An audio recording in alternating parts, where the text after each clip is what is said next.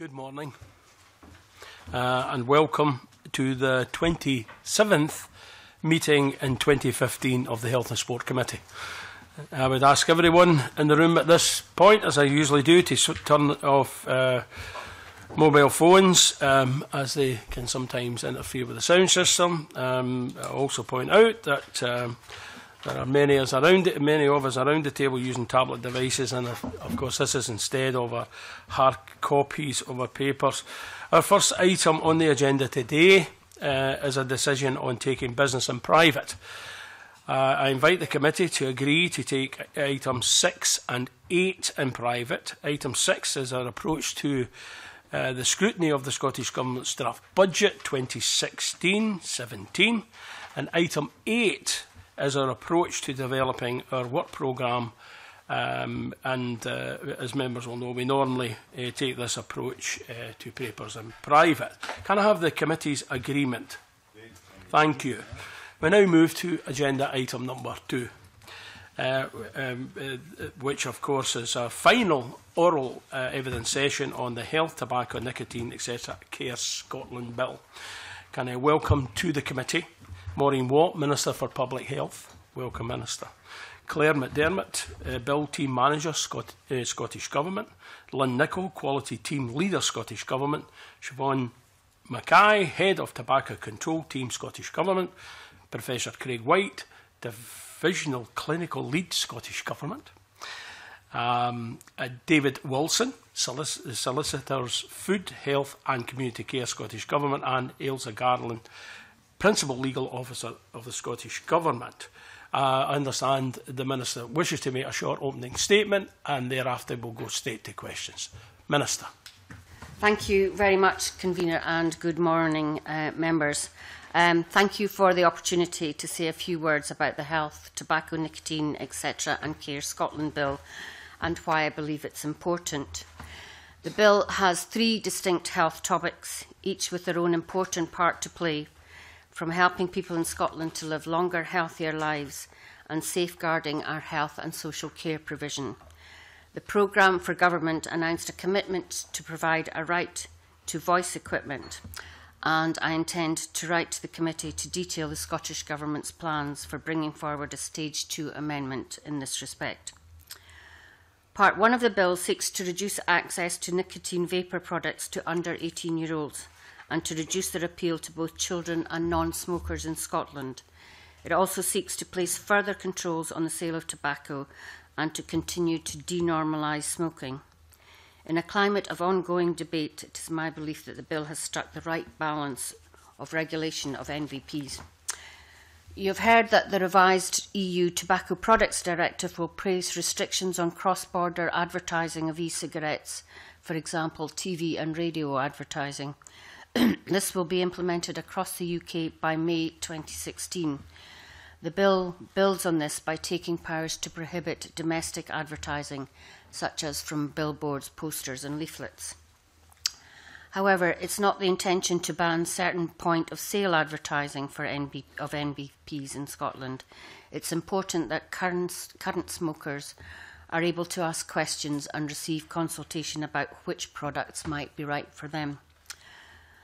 I'm aware that introducing an offence to smoke outside hospitals has also stimulated debate from those who believe that the legislation is unnecessary to those who believe the legislation should cover the entirety of NHS hospital grounds. The bill proposes an offence of smoking in a perimeter around hospital buildings. The perimeter will be consulted on and determined in regulations. Preventing ill health is a major challenge for our health services now and in the future. Tobacco remains the biggest cause of preventable disease and de death in Scotland. It is therefore my view that our NHS must show leadership in supporting and promoting healthy behaviours, particularly around denormalising smoking. The provisions in Part 2 of the Bill place a requirement on organisations who provide health and social care to follow a duty of candour procedure where there has been an, incidence, an instance of uh, physical or psychological harm. The procedure itself set, will set out in regulations to be made using the power in the bill. The proposals have been intentionally focused on an organisational duty. The introduction of this duty will provide a further dimension to the arrangements already in place to support continuous improvement in quality and safety culture across Scotland's health and social care services. Part 3 of the Bill creates offences of ill treatment or wilful neglect which will apply to health and social care workers and provider organisations. The offences will cover intentional acts or omissions and is not intended to catch incidents of mistake. Neglect and ill treatment occur very rarely in our health and social care system, but the criminal justice system must be able to identify and deal with these cases effectively and appropriately when they arise. The offences are intended to help to secure access to justice for those who suffer neglect or ill treatment. It's important to emphasise difference between these offences and the unintended or unexpected incidents covered by the duty of candour. The willful neglect offences are intended to relate to very deliberate acts of or omissions think that's all I would like to say at the moment, uh, Convener, and I look forward to the committee's consideration of the bill and the discussions to follow. Thanks, Minister. We go directly to Richard Lyle with our first question. Uh, good morning, Minister, and, and thank you very much for your clarifying and your opening statement and the, the actual physical question I was going to ask, but I'll ask it anyway in order to ensure that it will be uh, the case. Can I turn to smoking in hospital grounds? Most people have had concern that uh, we're totally banning or allowing the health, local health board to ban uh, smoking in hospital grounds. But in your opening statement, you basically said that it would be a case that would be a perimeter set. Have you any idea what perimeter will be set uh, in regards to this? Um, I, like many others, abhor the fact that going through or going into hospital, people are smoking, but I can understand the reason why uh, that maybe had some bad news or they've been in to see a, a relative who has unfortunately uh, just died or, or whatever. Um, but again, I think we have to, and I agree with the parts of the bill uh, that uh, suggest that we have to uh, remove them from the entrance. But can you give us an indication how far, how the perimeter will be uh, identified to smokers is there a case, as, as one uh, witness suggested, that uh, you may consider putting up a shelter that um, people could then be visited by other people to explain to them the reasons why smoking is bad for their health?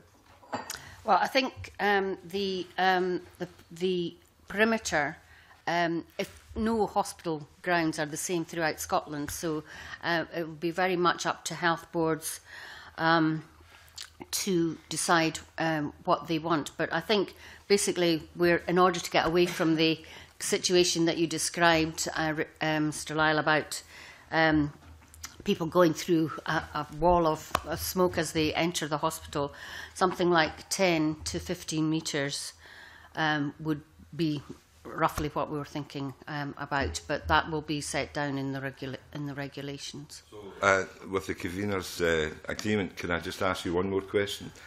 So, NHS boards cannot, repeat, cannot ban smoking on their grounds totally. They must act within the curtilage of this bill that when a uh, meterage is set, and I would actually suggest 15 metres is too short, I would suggest that it'd uh, be a, a little bit, maybe double that. Um, but basically within that sort of range, and we would disagree on the range, um, but can you give me assurance that the NHS boards cannot ban people from smoking in the, their grounds totally? Banning is not a word that I really like, um, and obviously it will be up to each health board um, to decide what they want to do by policy. But the legislation in this bill will not make it compulsory for health boards to ban uh, smoking within their grounds. And we know already, and in the evidence you've taken, you'll know that different health boards are different ways along the journey uh, to making uh, hospitals and health places places. I'm very much in favour of the health promoting health service, and I think it's an anomaly that we allow uh, an activity which damages people's health within um, a hospital setting. Um, and um, I think, you know, health boards, some like Ayrshire and Arran are much further along the line. Um, this is not something new. It's been an ongoing um, process um, to discourage smoking in hospital grounds um, for a long time now. And as I say, different health boards are, are on a different path along the journey. But the bill itself, to answer your question, will not be banning or prohibiting smoking in hospital grounds. Thank but you much. that has to be left to the policy of the health boards. Th thank you for that reassurance. I, I, again, I welcome this and, and, and uh, wish it to, to happen. Thank you. Can I ask about the role of staff in policing the, the smoking ban around hospitals? Uh, it says in the bill that uh, management and control of a no smoke of a no smoking area uh, knowingly to permit smoking there. And I'm thinking a member of staff walking into work, seeing people smoking outside, do they have a role in trying to stop those people smoking? And indeed, if they have a patient who who they believe for their their well-being that they should allow them to smoke, take them out and allow them to smoke. Would there be breaking the law as well? I think uh, we need to be clear the role that staff play in this. Well, staff of themselves are not um, the ones who would be um, telling people to smoke or not, but um, I think what we're looking to see is very much a culture change. I think the um, the advertising that we've done around the green curtain and taking uh, smoking right outside um, has been effective. Um, but we wouldn't, to answer your question, expect um, all staff to say, no, you can't smoke here. That will be up to um, the health boards um, and other organisations um, to deal with people. But the, the, the perimeters will have, obviously, a, uh, signposting that smoking is not um, permitted in the hospital grounds, and that's al already, as you've probably seen, in most hospitals. Um, in terms of your other question in relation to, um, I suspect you're thinking of perhaps people um, in mental health wards or people who are, um, you know, long-term patients who have gone in smoking. We're trying to make sure that, for example, people who are going in for an operation are given at uh, the, some of the initial consult, uh, appointments that they have with their consultants um, are made aware of the smoking policies and are offered smoking cessation um, before they go for their operation. Um, um, but in terms of um, people, for example, who may have mental health issues, there will be uh, areas set aside for that. But in the overarching policy that we'll be trying to uh, encourage people um, to, to stop smoking because smoking doesn't actually uh, contribute uh, anything towards their mental health and well-being, actually the opposite. Uh, what I'm really thinking about is if, if a patient is unable to go outside to smoke themselves and a member of staff takes them outside, kind of facilitates them smoking. Um, and that might not, you know, I understand in mental health wards that there will be areas for people to do that But um, in, in normal wards, if someone has mobility problems or whatever, the reason that they're in there, I think it will be up to each um, individual um, circumstance for um, the hospital and the um, the nurses or the doctors in con consultation with the uh, patient to um, decide that, and there will be eh, uh, areas set aside, you know, outside the perimeter. But I don't know, Siobhan, do you want to come in on that, or um, or Claire? Uh, NHS Health Scotland published guidance earlier this year to support the implementation of smoke-free grounds across all NHS sites, and that set out standards for boards and including what the roles and responsibilities of staff were. No staff would be criminalised for assisting somebody to go out and smoke, though that would be a matter for the NHS board, and I think the minister is right to consider what the individual circumstances of, of that occasion was. Okay. Nanette, on, on this theme? On the, yeah. the, the ministers, I, I know, are aware of a local case in, in the, my region um, where there has been an issue about a patient being banned from smoking within mental hospital grounds. And I just want to clarify, because I'm going to raise it with the health board very soon. Is this um, is the health board still responsible for? Can can they still say in, in that instance that the grounds must be smoke free? Or when she spoke about some sort of shelter being available for people like that, is that something that the health board could be asked to do or pressurised to do. Well, again, it will be up to the health board um, to decide uh, what their policy is. I don't think it's right for me here to talk about uh, any particular uh, individual case. Um, again, it should be uh, a consultation with um, the patient uh, and the and the consultant or their carers um, to decide what the best course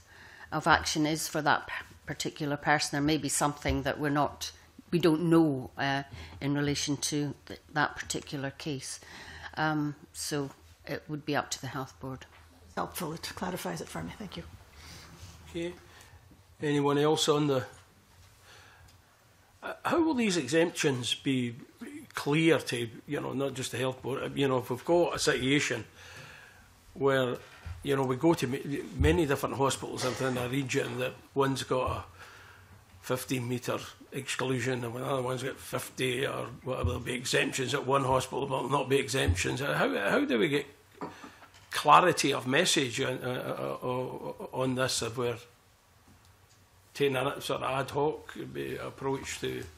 Well, it'll be the same as the 2005 Act, uh, for example, um, regarding uh, residential hospitals. There'll be residential properties and around hospitals, um, it'll be roughly the same. I think, you know, Convener, we're on a journey. Um, we want to make sure that people uh, visiting hospitals and going into hospitals are absolutely aware that our aim is to make hospitals and hospital grounds smoke free.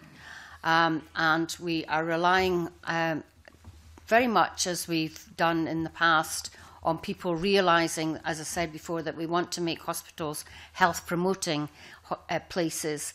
Um, and smoking damages your health. Therefore, why would you allow smoking in an area where people are there to get well?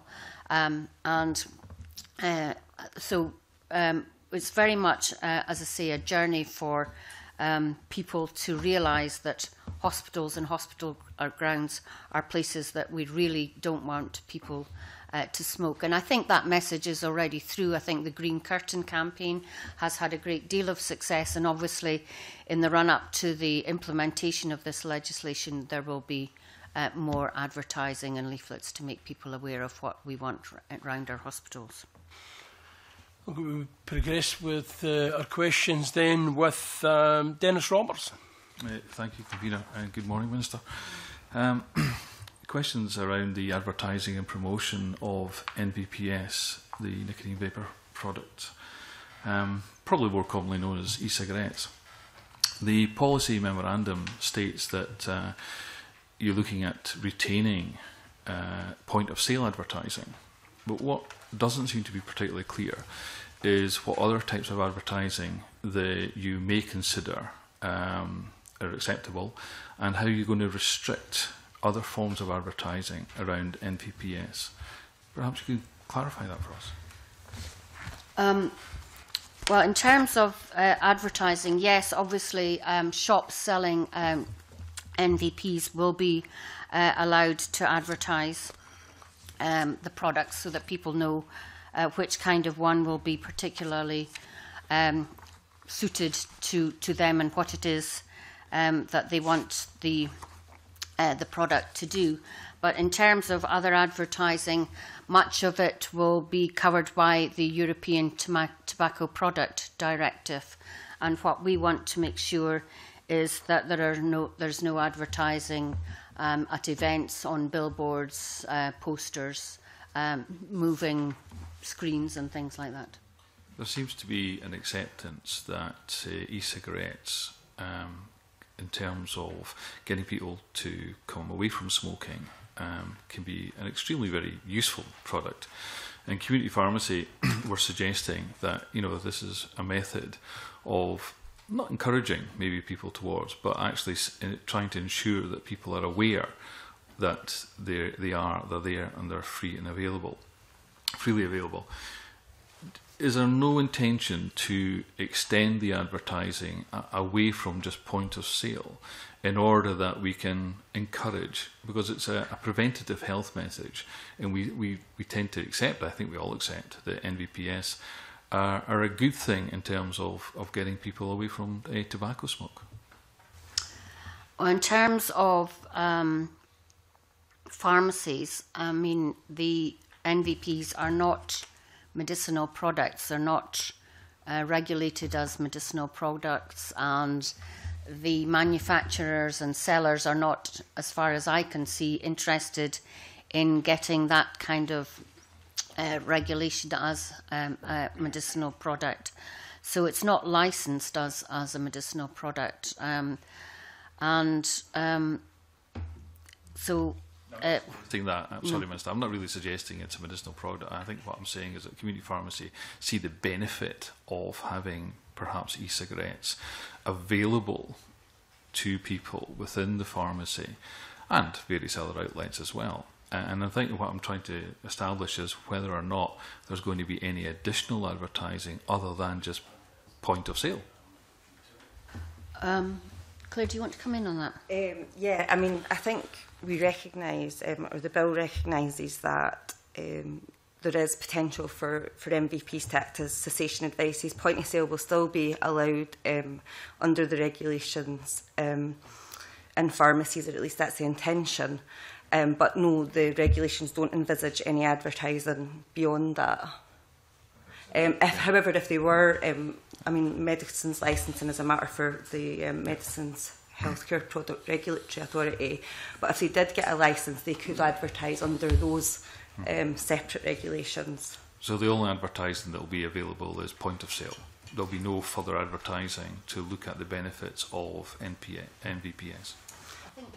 point is that you know we want there's a fine balance to be drawn uh, with NVPs we're not totally aware of what the effects of them are. There's not been that much research into them, and you wouldn't want to advertise them to the extent that you were encouraging people who would not even think of smoking to take up NVPs. So uh, we recognize that for many people now they are a process for uh, stopping smoking, but you wouldn't want to advertise them as a, thing to do. I think that's um, reasonably clear, convener. I, I think I, think Thanks. Alex just on the point of it's point of sale, full stop. Yes. that's okay. Thanks. Anyone else on this team? Malcolm. I mean, I, I, I think I think you are treading a fine line, and we've heard um, I was going to say conflicting evidence, certainly different emphasis in the evidence that we've received, and I, I think I've noticed. Uh, in fact, differences among um, in medical opinion over the last few weeks about this. So I think it's one of these areas which is um, is, is possibly a little bit confusing uh, for the public. But I think I think probably most people are reasonably happy with the line you've trod. But I mean, do you think there is room to have a, a slightly more positive attitude about e-cigarettes coming from the government? Because I think surely what everybody has agreed on that they're there might be there might be some disagreement and uncertainty about whether there is a degree of harm, but everybody is united in believing that they are massively less harmful than cigarettes. So do you not think, and I think Cancer Research UK certainly takes this view, and and uh, um, Professor Linda Bolt, who gave evidence to us, I think, takes this view, if I'm not misrepresenting her, you know, that, that there, there really should be a, a clear message about that. Um, yes, I'm aware of um, uh, what Linda Bolt and uh, Cancer UK said. Um, and as I said in answer to Dennis, um, yeah, we recognise that people are using them as a method to stop. Um, but I think it's also recognised that um, they are more effective in, in ceasing to, uh, cigarette smoking if they're used in conjunction with with uh, other methods that are already available, uh, smoking cessation services that are already um, available. I think my worry is that we simply don't know enough about the long-term effects of NVPs. Uh, I, you know, I've been reading about something called popcorn lung. Um, so I think I need to be, uh, and I think in drafting the legislation, we need to be very cautious and draw a very fine line about promoting them as a, as a healthy product for stopping smoking and you know a, a, a thing that people do as a recreation. So I, I recognise and we've sort of debated long and hard about it, but I hope that the legislation proposed strikes the right balance. Um, so I mean, in that sense, do you disagree with the, the guidelines that have been issued by Public Health England on this? Um, I've seen their guidelines. Um, I suppose the short answer to that is at the moment, yes. Um, we, but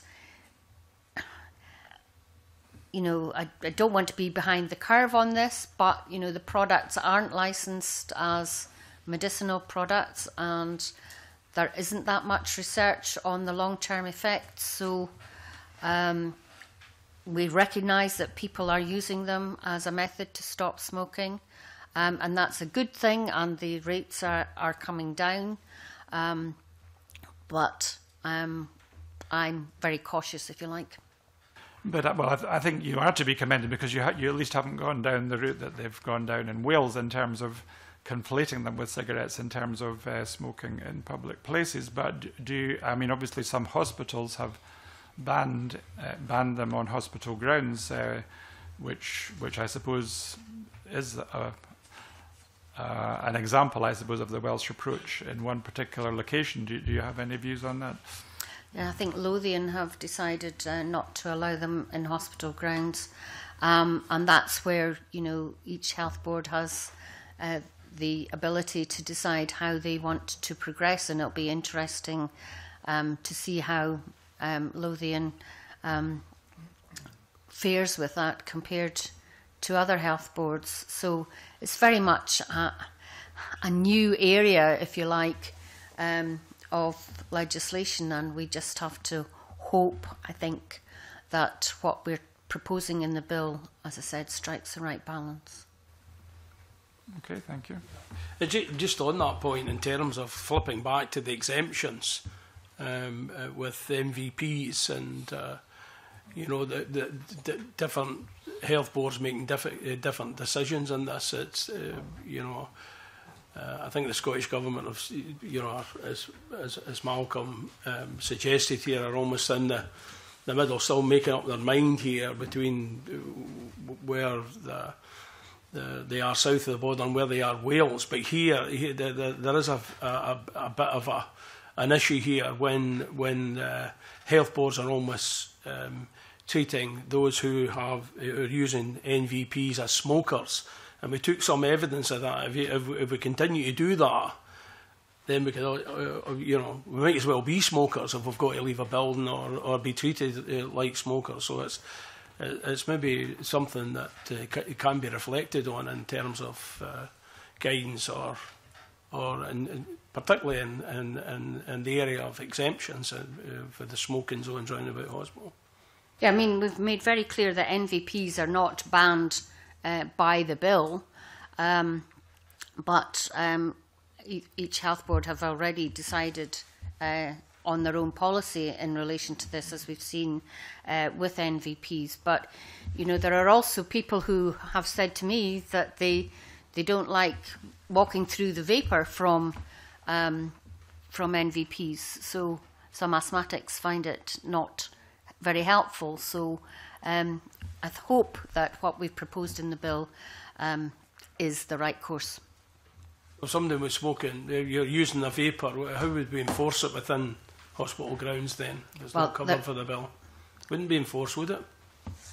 Well, it, as it, would be up to the policy of, of the health board rather than uh, the bill.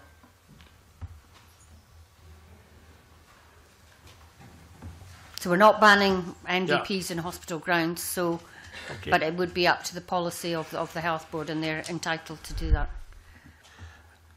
De um, devolution of power. Thanks. Thanks. Sorry, I'm, I'm just looking at my script for the next one, and it's Malcolm. Um, oh, I've heard that one before in relation to health boards, but um, fair enough. Um, yes, well, I mean, if we can look at the duty of candor and willful neglect, and if we can look, perhaps look at them together, some people have suggested, I'm not necessarily agreeing with this, but some people have suggested that the, the new offense of a duty of candour no, the new offence of willful neglect has the potential to undermine the duty of candour. So that's maybe one issue that we'll, we'll come to. But I, I suppose my first question on this is, is the origins of this. I mean, I take it the origins of this is in the Francis report, but I'm wondering um, to what extent you've looked at the legislation in England and decided to, to vary your own approach on that, or um, is that not something that you've been very much involved with? In terms of duty of candour or both of, of, them, of both. willful neglect? Mm -hmm. Um, I know people try and conflate the two, but I oh, um, no, no, have tried to, to keep them very separate because I think they are very separate. Um, and we should try and keep them um, very separate.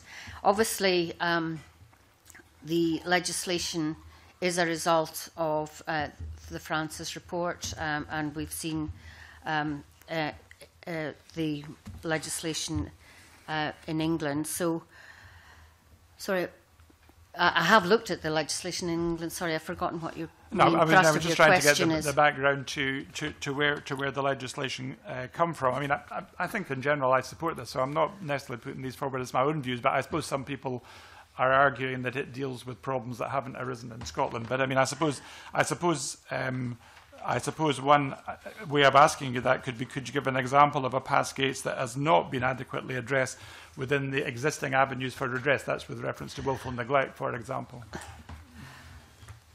Um, I can't, off the top of my head, give an example. Um, but um, I think if we take the two separately, I think duty of candour um, is obviously in several health professionals' um, existing professional uh, arrangements.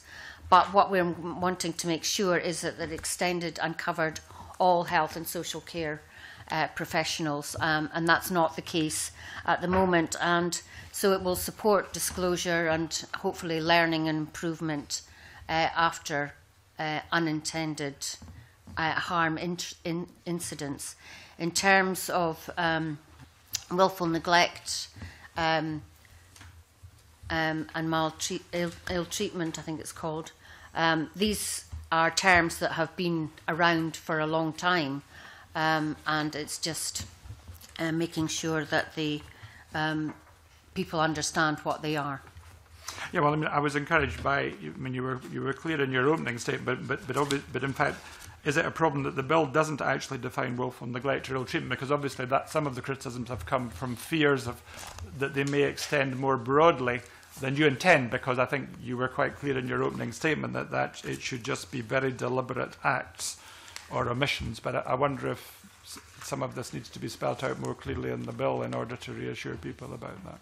Um, well, they already exist uh, um, and the form of the proposed or intent, uh, proposed offences are intended to reflect these uh, existing offences. The uh, existing offences do use the term ill treatment and willful neglect, and uh, we didn't think that further definition was necessary uh, because I think further de definition might be counterproductive if we if, count, if that casts doubt on what um, it, on the meaning of the existing legislation. Yeah. Well, I expect even what you've said today can be taken into account when that when, when the legislation is being interpreted. But I mean, maybe we need to look at whether that can be um, defined more closely. But my last question about the duty of candour, and this is a point that came up when we visited Argown Hospice, um, and it was put to us, and it, it could have been lots of places, because I imagine there are quite a few individuals, perhaps particularly at the end of life, but not necessarily at the end of life, who don't wish to receive information about any uh, harm or potential harm. So I wonder uh, how the legislation will or if the legislation will take account of that in any way? Well, I think the duty of candour, while health professionals certainly, some health professionals certainly have it, um, it's more that organisations um, are responsible for duty of candour, uh, and that is something that's not been covered before. But Craig, you've done a lot of work in this. Why don't you answer this question? Yes, um, morning. Um, I read with interest the uh, note of your uh, meeting of the visit to Ardgown Hospice and the research article that was mentioned. Um, if one takes the research uh, which was referenced there in the context of cancer, even if you look at the around 1 in 10 people who say that they prefer for the doctor to make decisions about what they're told, um, even those people still want specific information. Um, so, uh, uh, and one of the articles that's referenced there talks about failure to disclose information out of a belief that patients prefer not to know is not a tenable view. In the context of duty of candour, the outcomes that are defined in the bill really are, are at the obviously if, if someone uh, dies as a result of a systems and process failure, then their loved ones are aware of that, so the issue doesn't really um, uh, come into to, to play, and some of the other outcomes around um, se severe and significant harm that people experience. Most people are already aware of that.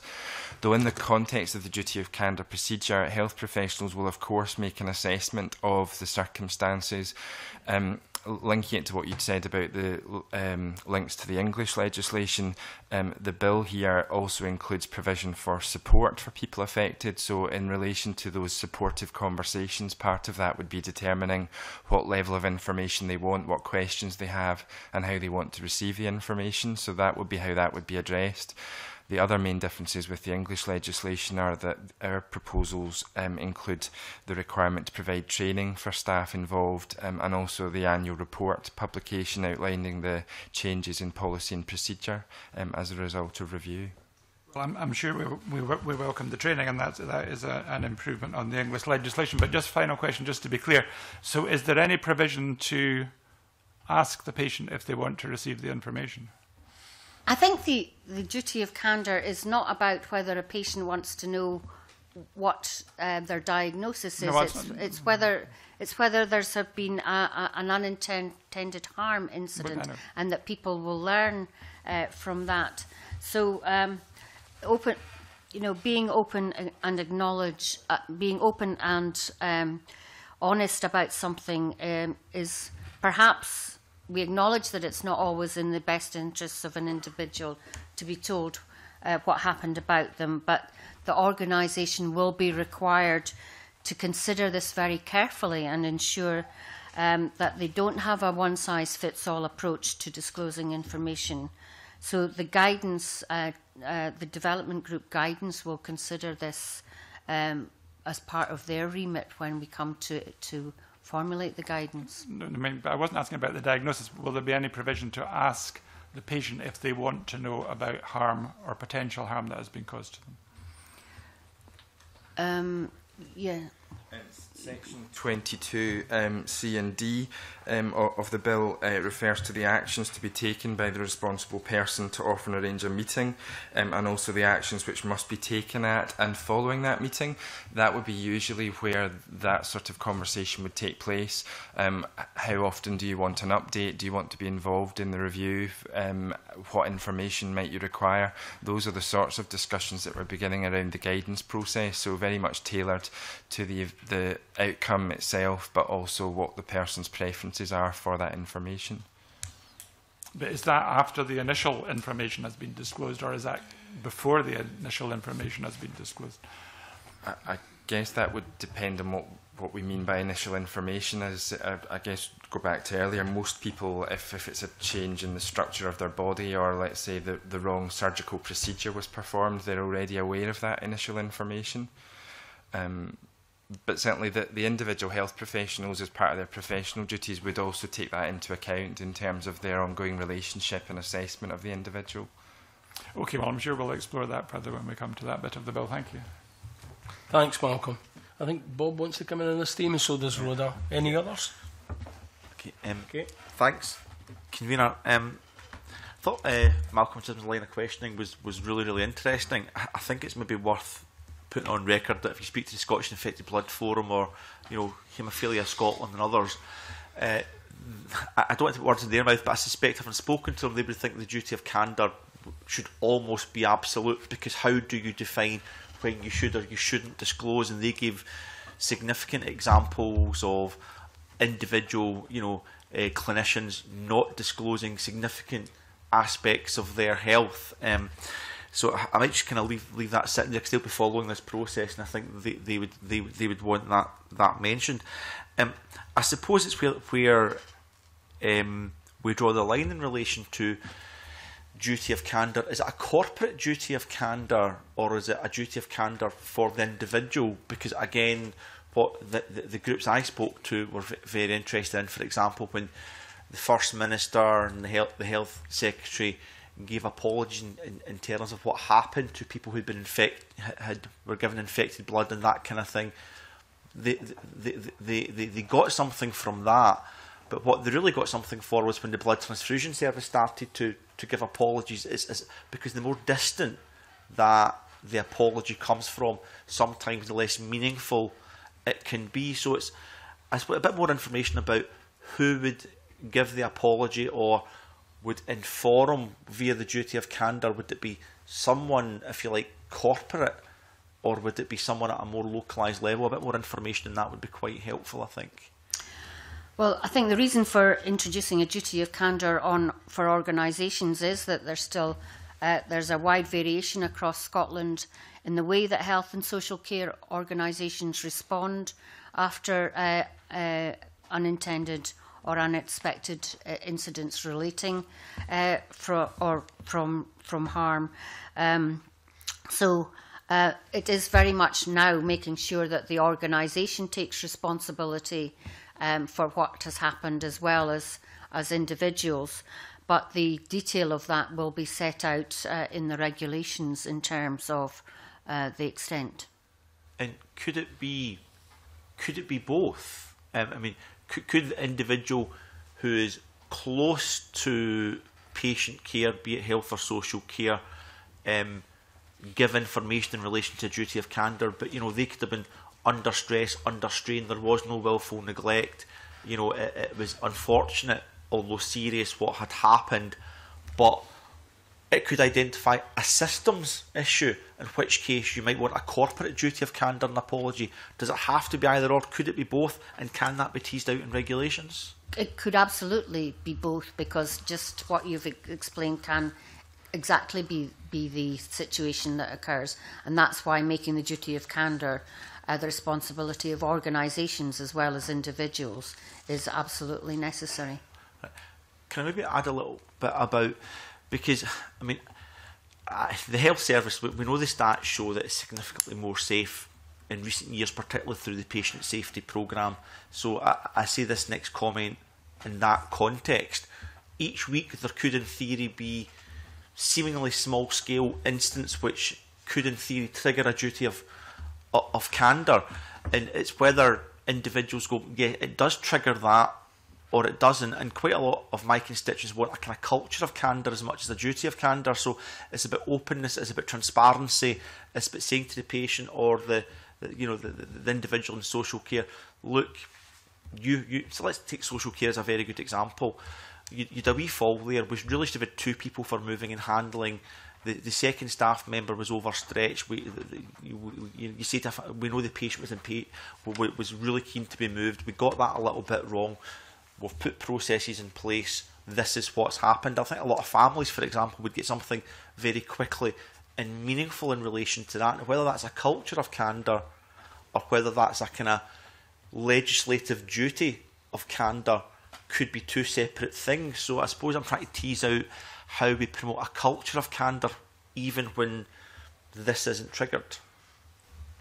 I think you're absolutely right. Uh, it is about um, Uh, promoting a culture of candor but it's also um, a continuous improvement process, isn't it? You know that um, that we that we learn from the mistakes. We know what, in the case that you cited, what should have been done, um, but we made a mistake in that particular uh, point. So the focus is on learning from what has happened and um, the organisation providing the support and training and the staff development um, uh, and making sure that, as you say, that the culture is that people um, learn from what um, has happened uh, and that it's a development and lear learning culture um, across the, the service. But Ilsa, did you want to say something legally about this?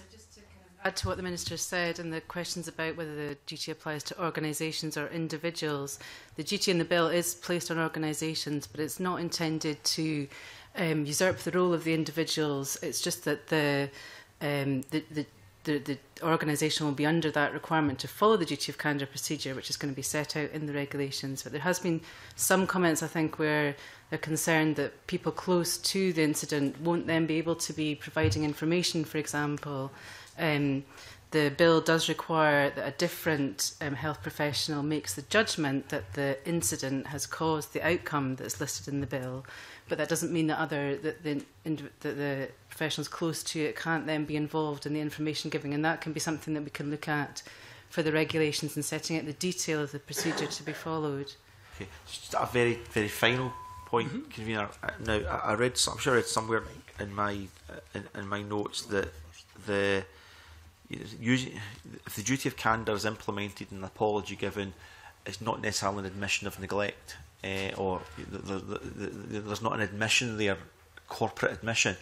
Could it, if used at a more local level, could it empower health and social care workers if they give information and openness and transparency to individuals, uh, and they might be keen to do this just now, but they're thinking, oh, if, if I disclose this information to them, what's going to happen in relation to myself and, and my practice could is is there protection built in for uh, individuals who work in health and social care to allow them to be more open and transparent as they would like to be without com compromising um, the, the, their own their own position so if someone says yes we got this wrong um, here this duty of candour's been invoked here and you give an apology at a local level Are we likely to see more of that if it's entrenched that that's not necessarily an admission that there's been neglect?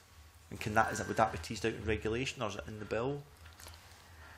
Well, well, in terms, you know, this is where we need to kind of separate the duty of candour uh, and neglect. I think the the situations where there's uh, ill treatment or willful neglect um, are kind of dealt with separately, if you like, under the duty of candour, we do want to make sure that there's a culture of openness and transparency in the health service and that people um, learn from, from their mistakes. But um, the bill doesn't provide an exemption, for example, for disciplinary action where someone um, reports an unintended or uh, or uh, uh, unintended or unexpected incident um, if indeed disciplinary action is required that that situation won't change but yes we do want to foster um, a culture of openness and transparency so that the whole organisation learns from incidents and that um, the whole service and care for, for an individual uh, is better. But Craig, did you want to come in on that? Yes, it was it was just in relation to the, the, the bill section 23.2 does state that an apology or other step taken in accordance with the procedure um, doesn't of itself amount to an admission of negligence or a breach of statutory duty um, and and certainly that is something um, which uh, healthcare and social care professionals um, have discussed and, and commented on in terms of the importance of um, making it clear that apology is part of this procedure um, and any decisions that might be made in a legal process, for example, around negligence and liability are completely separate procedures. I think, I mean, no, no more questions, Queen, other than just to make the point, I think that I support this, but teasing out more to empower uh, those providing health and social care directly to to vulnerable constituents of all of ours to be empowered to go because look they get things right nearly all the time we're all human we do get things wrong and it's almost like feeling empowered to go look we got that wrong you know it doesn't doesn't make me a bad health or social care worker but in terms of transparency and a culture of you know of candor we're giving you this information and just to give them the reassurance it doesn't yes we'll learn from those incidents as you know as organizations but they as individuals wouldn't necessarily be hauled over the coals and it's just getting that getting that balance right as MSPs we all have incidents where people have had people in care homes for example and they think things could have been done better they don't necessarily want any reparation but they want to make sure um, that things are learned from incidents that they've experienced and that's certainly been my experience as an MSP and you have to follow them up and, and make sure that the organisations do learn from them. And often that's just what, that's all that the, the relatives want from that incident. Okay, thank you, thank you. Yeah, I, th I think um, you know, in previous inquiries and, and involvements that we've had, I think we all know the, the power that, of, of an apology and appreciate the, the, the, the, the, the minister's and reflected the minister's um, uh, comments there. But it takes us to another wee stage in terms of um, Professor White's definition of the bill, and um, uh, the procedure would not admit to admission of negligence, etc.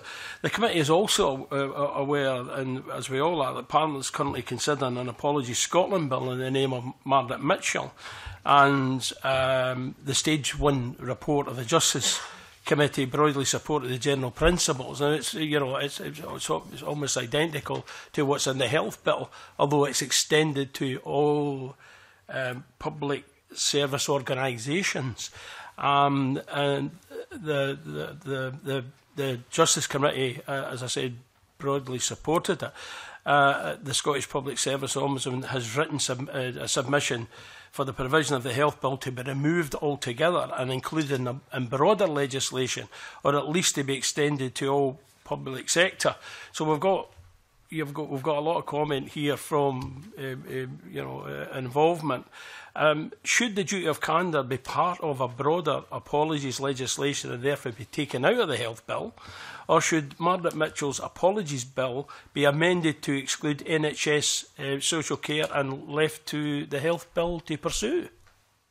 Um, well, I'm, I'm probably going to bring. Uh, uh Craig uh, in on this because he gave evidence to uh, the Justice Committee um, uh, on the uh, Apologies Bill. But my understanding is um, the need for apologies offered as part of the duty of candour procedure uh, should be exempt from the Apologies Scotland Bill.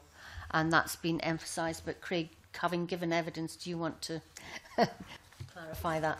Um, th thank you. The, uh, the Scottish Government's position is that the, the need for apologies uh, offered as part of the duty of candour procedure should be exempt from the Apologies Scotland Bill. That's a position that. Well, fine. Uh, that's uh, on the record then, and if, if it's not already been on the record. Um, Rhoda Grant and then Mike McKenzie. The area I was hoping to explore has been fully covered now. Could be okay. Thank you. Rhoda Grant. Um, just a, a, short question about the duty of candour. It's obvious in the bill that it has to be quite serious incidents that triggers the whole process. Um, should the bill emphasise an overarching duty of candour in all situations. The medical professionals should be telling patients what's going on, regardless of whether it's a serious incident or not. People should surely have be entitled to information on their own care. I, th I think, given that we want to have an open and transparent health service, um, and that more and more we're talking about patient centered uh, treatment, and that the patient is the main focus of um, treatment, then it is important that um, all health professionals discuss with the patient um, their care and treatment while they're in a care setting.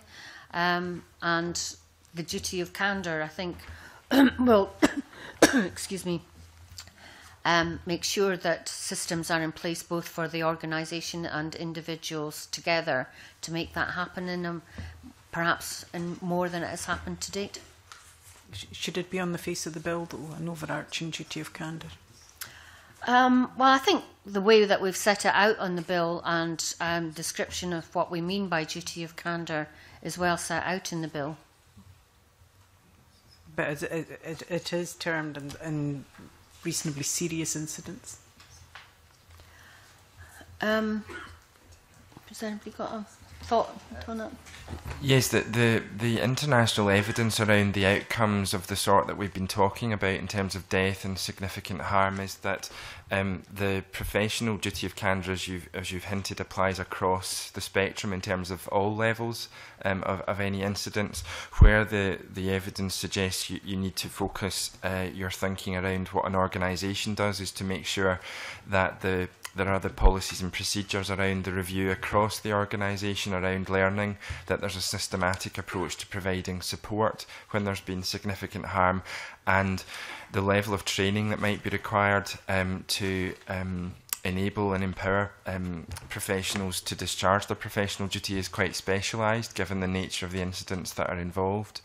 So um, th that's certainly where the, the policy uh, was, was developed in terms of there being additional requirements for an organisational duty relative to that that uh, uh, what one sees in a professional duty. That doesn't really answer my question. I, I understand that and I understand why those incidents are there. What I'm saying is um, the Minister in her I think opening remarks or certainly an answer to question said some professionals have this in their, their code of conduct that they have a duty of candour.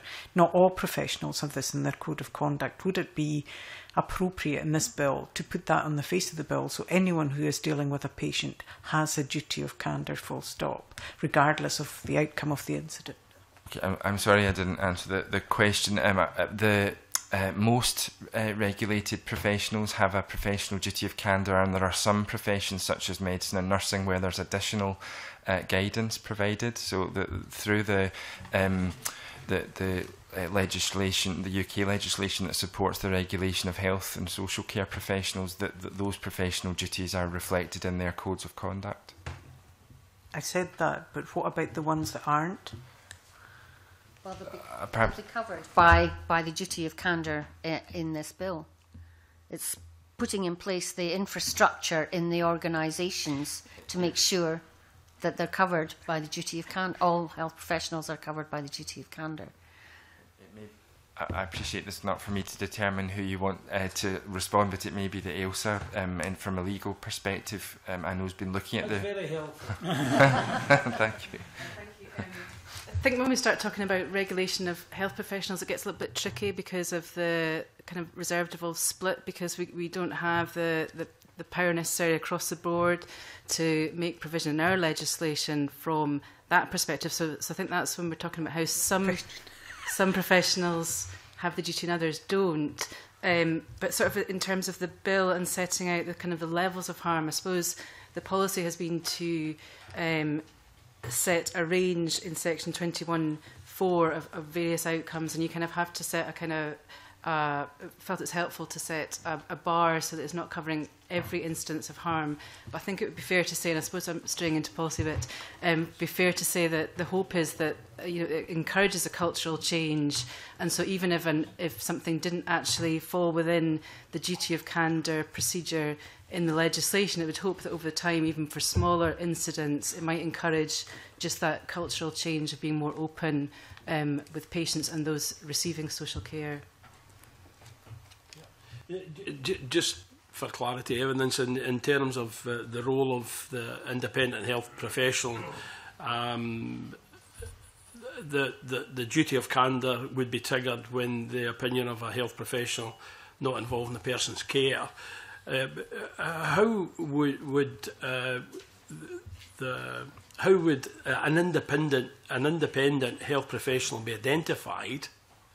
Um, and why why would it only be a healthcare professional when the duty would cover other settings such as social care and social work?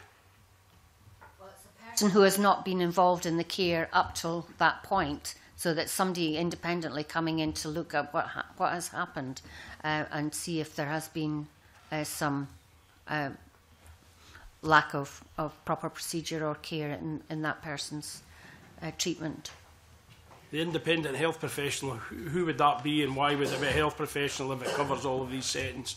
Prof Professor White.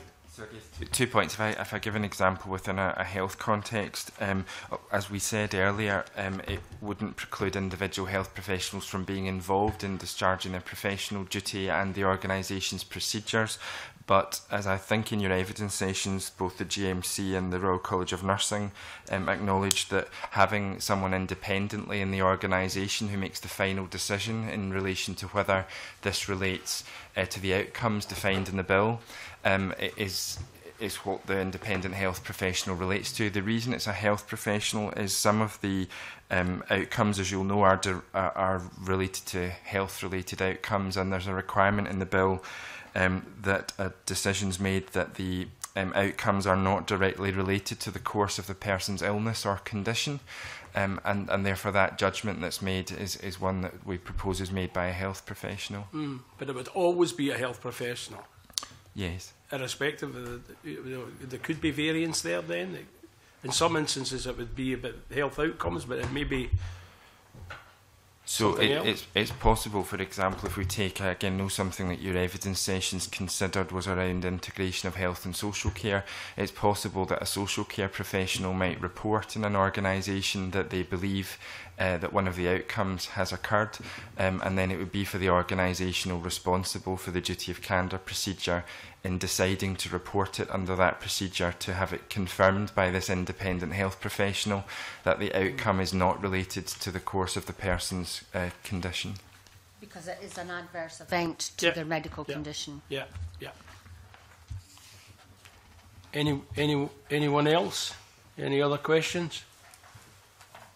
just I think there's uh, there's just again just going back just to you, you know as our last session and you know for our, our consideration and and just going back to um, um, uh, enforcement um, whether the Minister is confident the smoking ban in NHS grounds can adequately be enforced given witnesses, the witness comments that local authority officers choosing, are choosing not to enforce other areas of legislation due to uh, uh, uh resource constraints. So, uh, any comment on, on, on, on that, Minister, would be helpful. Yeah. I think when we uh, introduced the um, smoking in, in public places, um, the, uh, the local authorities um, use their enforcement powers then. Um, and uh, so the local authorities, you know, we're not going to expect um, a local authority person to travel a mile to a hospital to, to issue a fine. Um, but um, the legislation um, does require uh, local authorities in cases where there, maybe there is persistent breaches um, that the, the local authority might get involved. But I think we saw when it, the legislation come in in relation uh, to pubs that most people uh, obeyed the legislation um, and um, clearly we have been working with local authorities and COSLA uh, and um, the um, the people in the local authority, to the environmental health officers. Uh, they already um, enforce current smoke-free legislation across the whole uh, local authority area, including hospitals. Um, but as I say, we are working with uh, COSLA uh, to make to sure... help you in this regard, have they? To make they... sure that they... Um, well, we are in discussions. uh, um, but um, the, we know that the public are largely law, law abiding, and if they of know course. that this is coming in uh, and that we have good communication around the new legislation, um, that we would expect to see similarly high levels of compliance on this piece of legislation as we have on others. Richard Lyle. Yes. Can I, I just finish off by saying, at the end of the day, it's education. Many years ago, we we people when the non-smoking in, in public places came in, uh, people said that will not work, but it did because we, we steadily progressed. And I'm advocating that we continue to progress and, and remove people from the entrance to hospitals, but we're also uh, convinced that we will educate people steadily as over the years it will eventually people won't smoke in, in near hospitals. And I agree with, I agree with that. Yeah, I think an, uh, an awareness raising campaign is absolutely vital, but we've seen most recently um, with the new regulations in relating to drink driving, um, those have been accepted um, by the public uh, to a huge degree.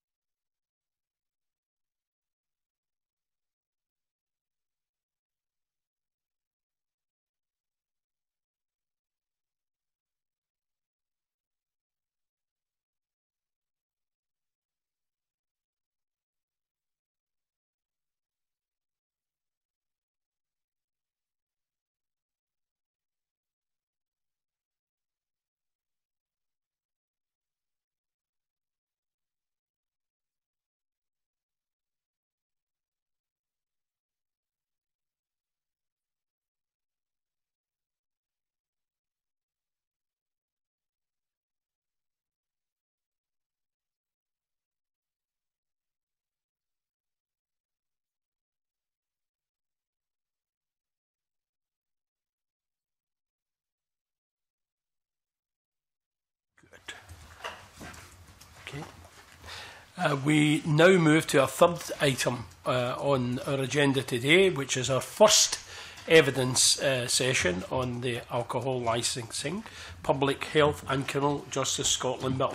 Can I welcome uh, to to the committee um, Alison Christie, policy officer, Scottish families affected by alcohol and drugs. Uh, Dr. Peter Rice, chair, on, honorary consultant, psychiatrist, NHS, Tayside Scottish Health Action on Alcohol Problems. Uh, Dr Colette Moll, uh, GP, BMA Scotland. Tim Ross, Chair and Chief Inspector, Police Scotland, North Ayrshire Health and Social Care Partnership. And Patrina McNaughton, Research and Policy Coordinator, Alcohol Focus Scotland. Welcome to you all. Um, before we begin with questions, I, I, I just uh, make... Uh, uh, the witness is aware that um, Richard Simpson, MSP, uh, the member in charge of this bill, has joined us today.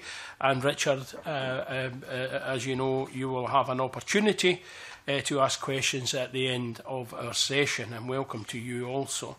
Um, as there are no opening statements, we now move directly to Malcolm Chisholm for our first question. Thank you. Um, well, we've got 10 different proposals on the bill, so in, in, a kind of way it's quite difficult, certainly impossible, to deal with them all simultaneously. So I thought it might be a good idea. I've read all the evidence, thank you very much. It was very useful as well from all of you. But I, I thought it might be useful to start with the areas in which there is unanimity in terms of agreement, and there may be more, But I, I think everyone is agreed on the minimum price for packages containing more than one alcoholic product. I'm, I'm sure I'll be contradicted, but my impression is everyone agrees on that. Community involvement in licensing decisions and restrictions on alcohol advertising. They're certainly the areas where there's, shall we say, broad agreement. So I thought it might be useful. I think all the other areas as a, as a measure of disagreement, even if it's just one, uh, one particular organisation. But on those three, I just wondered if there were any issues that people had, but it looks as if there is a lot of agreement around those three, but I'm sure you'll tell me I'm wrong if that's not the case. Do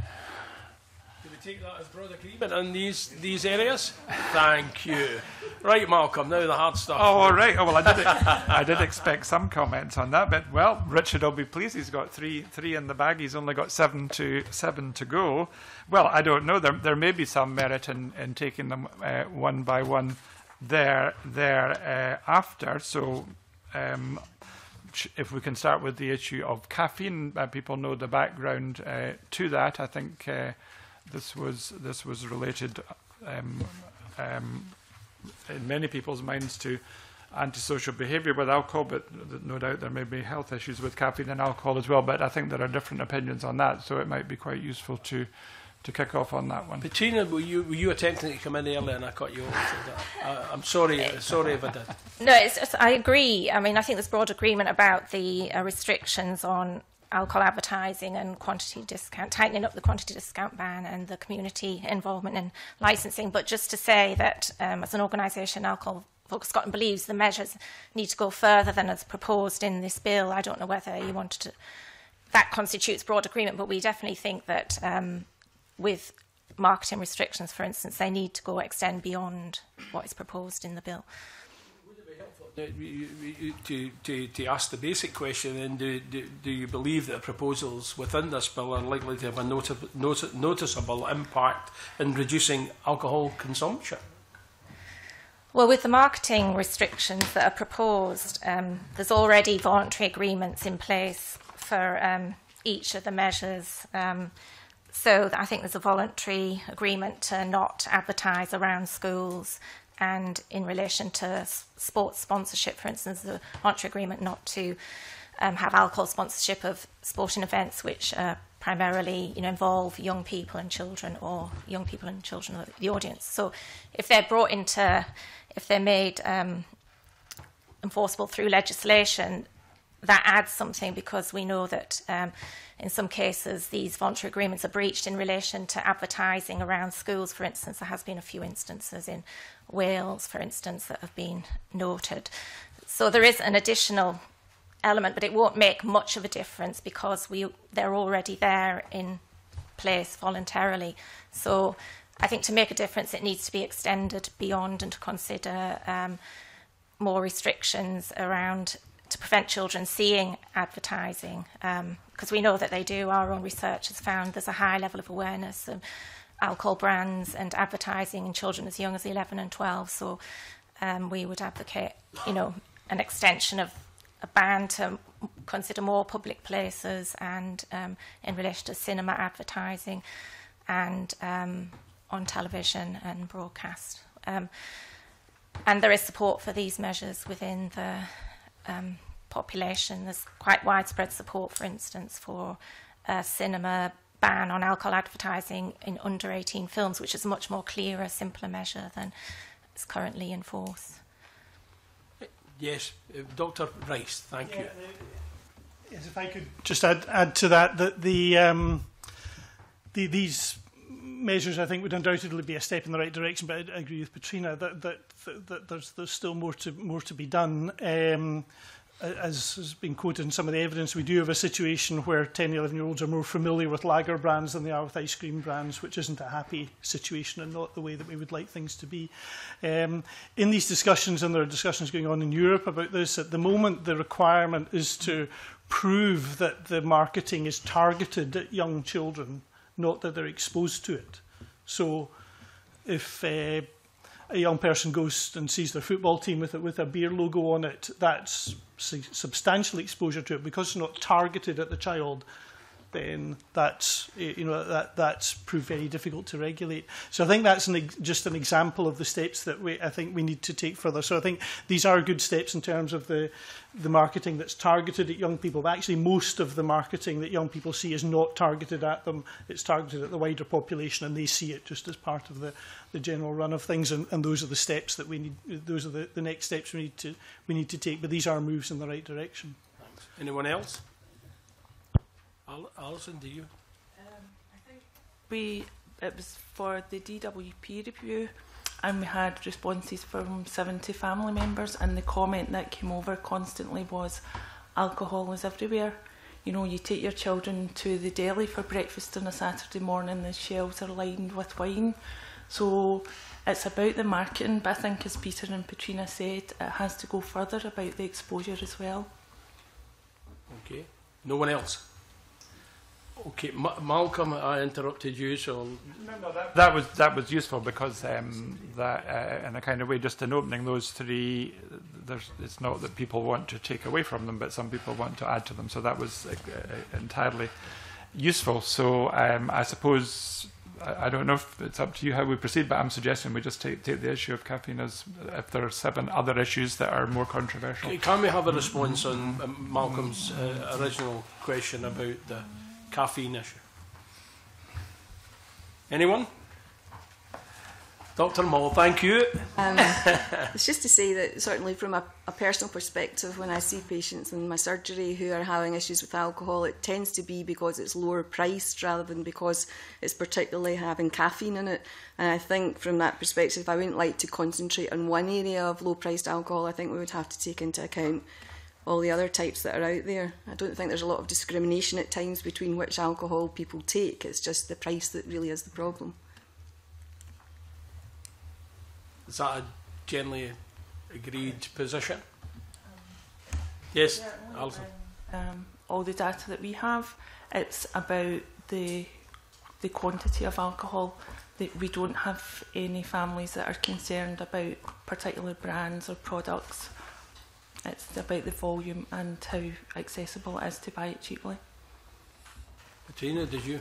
Um, well, we'd agree certainly that price and affordability are the key drivers of increased consumption and harm, but um, in relation to caffeinated alcohol, there is the research that shows that, um, you know, um, amongst young offenders, there's a, um, a high proportion who drink caffeinated alcoholic drinks, and considering the proportion of um, caffeinated alcoholic drinks as sold in the country, it's maybe about 2% of the total alcohol market, and yet it figures quite high in alcohol-related offending. So um, we take a precautionary approach on that. I mean, there's some evidence to indicate that it can exacerbate um, in alcohol related offending, and, and therefore on that basis we would um, advocate for it to be considered um, and then implemented and then see what the result was and evaluated um, on that basis. I think the evidence is indicative. It's not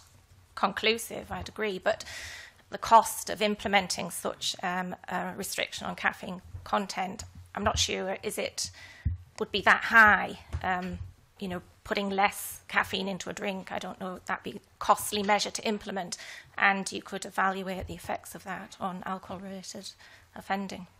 Okay. Dr Rice. Yes, we, we, we felt this wasn't a priority action, uh, really, on a, on, a, on a number of, of grounds. I think one was that, for, for the point that's already been made, most of the harm that we see in clinics comes from, from, from low-cost alcohol and the, the, the tonic wines, caffeinated drinks tend, tend not to be not to be low cost. Um, the evidence about its relationship with offending is, is restricted to, to quite a, a limited part of Scotland, and even the McKinley report, I think, had had had had no tonic wine consumers from, from the East Coast, and that's an, an interesting phenomenon. Um, and if you look at that report, there was, there was high levels, in fact, just about the same numbers of people were consuming spirits, were consuming cannabis, were taking benzodiazepines, and were taking ecstasy. So, and in fact, only 30% of that sample reported that their alcohol offence was purely alcohol that was part of offence with other drugs. So out of that cocktail of drugs, to pick out caffeine seem, seems to...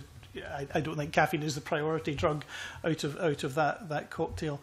And I think the further element to this is there's the neuroscience on this is, is, is emerging, but uh, I think it is indicating that the, the immature male brain and the male brain stays immature for quite a long time, um, probably into, into the mid 20s, um, has, uh, um, has an alerting uh, reaction to alcohol. or, our response to alcohol becomes more sedative as we age. Some of you might even uh, know some people who that has happened to. Uh, so the, the alerting effect of alcohol in, in, in young men that's often attributed to caffeine, in fact, may, may be an intrinsic effect of the interaction between alcohol and the, the, um, the, the still developing uh, male, male brain. So I think putting all that together, our feeling was that this uh, we understand the public concern. This wasn't a priority action. The very final point I want to make is I, I do think there's an issue with suggestibility is a very important effect in intoxication. When people become intoxicated, they behave in ways in which they expect to behave. This drink will make such and such happen is a strong predictor of what's going to happen. And my own view is that the discussions around the tonic wines have may in fact have made things worse. That it may have established a reputation for, for a particular product that then becomes a self-fulfilling prophecy. And what might have been quite a short-lived craze has become a more uh, uh, a, a more long, long-lived craze. And that's one of the reasons we, we have never drawn attention to, to, to caffeinated products because we think actually some of the public attention around it might be uh, detrimental. Mm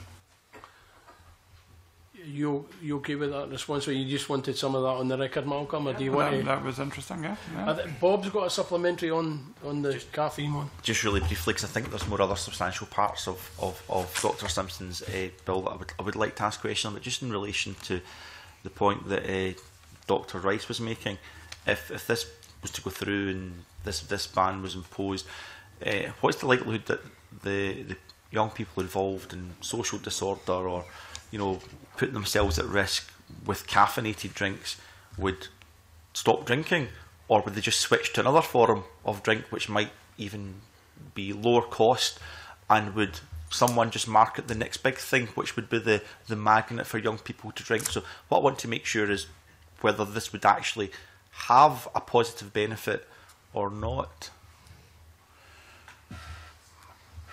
I mean, my, my, my own view on that is that people who are setting out to become intoxicated to and, and expecting to become violent and disorderly as part of that that that that will will still happen.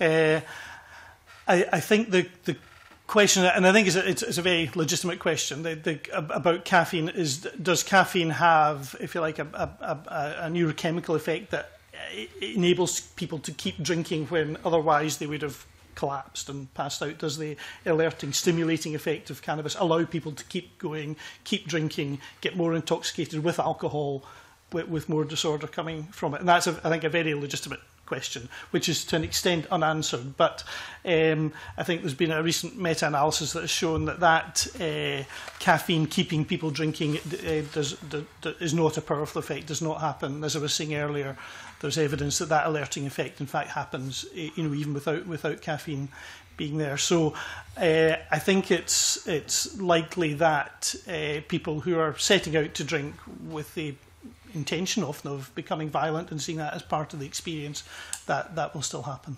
Okay, Chief Inspector, did you want to respond? A very similar point to that. I think I, the fact that that behavior does exist in the areas outside the west coast where perhaps the prevalence of those types of drinks is not so high tends to suggest that there would be alternatives and it is more perhaps about cost and availability. Um, and whilst we are supportive of as a as a step, again, eh, we'd perhaps like to see that research that shows the effect of caffeine. Does it indeed, in fact, eh, augment the effect of alcohol and have you more fully before we could take decisive action on it? Okay. Richard Lyle. Yeah, can I, uh, through you, convener, ask a question in regard to alcohol advertising, then move on to uh, container marketing and off sales? Is that, is that okay? Um, Dr. Peter Rice, you actually mentioned it a, a couple of seconds ago. It's my view that we have, uh, and whilst I'm not a football supporter, we have, uh, and, in, in the past, we've had uh, sports events sponsored by tenants sponsored by the Carling Cup. Uh, we have the Mar we used to have the Martel National, uh, uh, the Grand National. Um, quite a lot, and as you mentioned earlier, quite a number of football teams have the logos on uh, their badges, etc. Um, do you feel that this restriction on alcohol advertising, particularly sponsorship by alcohol brands, should be banned at sporting and cultural events, principally targeted at those under the age of 18? Now, I go along to a, a, a sports centre with my, my grandson uh, and see, you know, kids at five, eight, whatever, playing football. But there's no uh, advertising of, of uh, um, beers or wines or whatever there.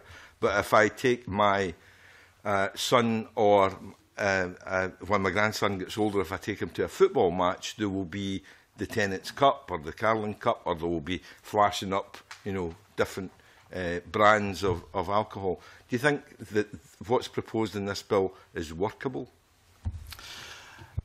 Um, yes, well, I, I think it is workable. It's one of the first things I did in alcohol policy was to run a campaign to get the drinks logos removed from children's size football strips, and that was eventually successful. Um, and but it actually took took some years to, to get that through. Um, it's undoubtedly a, a major part of, of exposure to young people when we're talking about the alcohol brands that young people know about in the in the Welsh.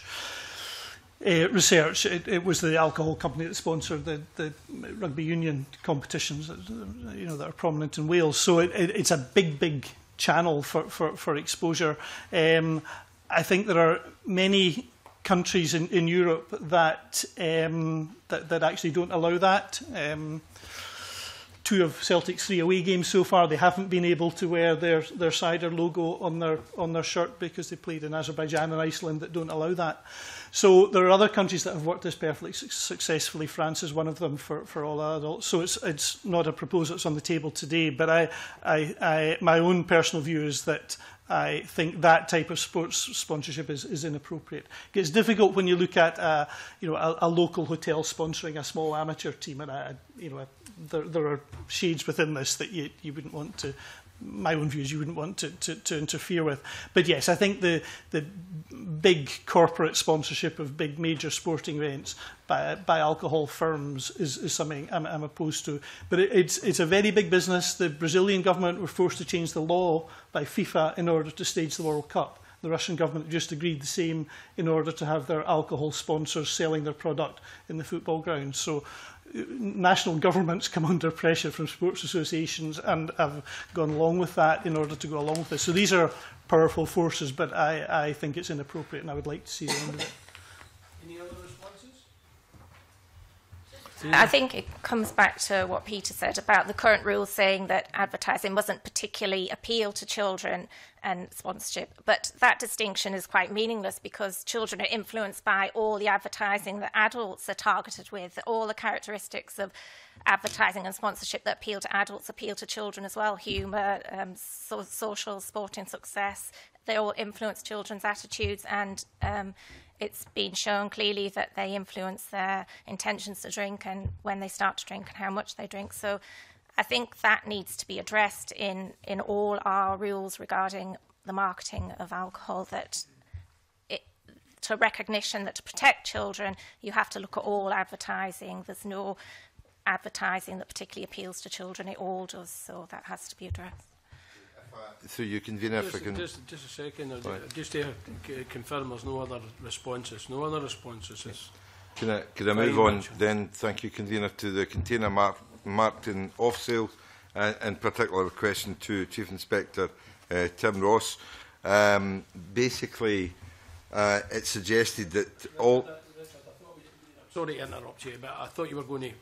uh, have a, uh, another question on that advertising.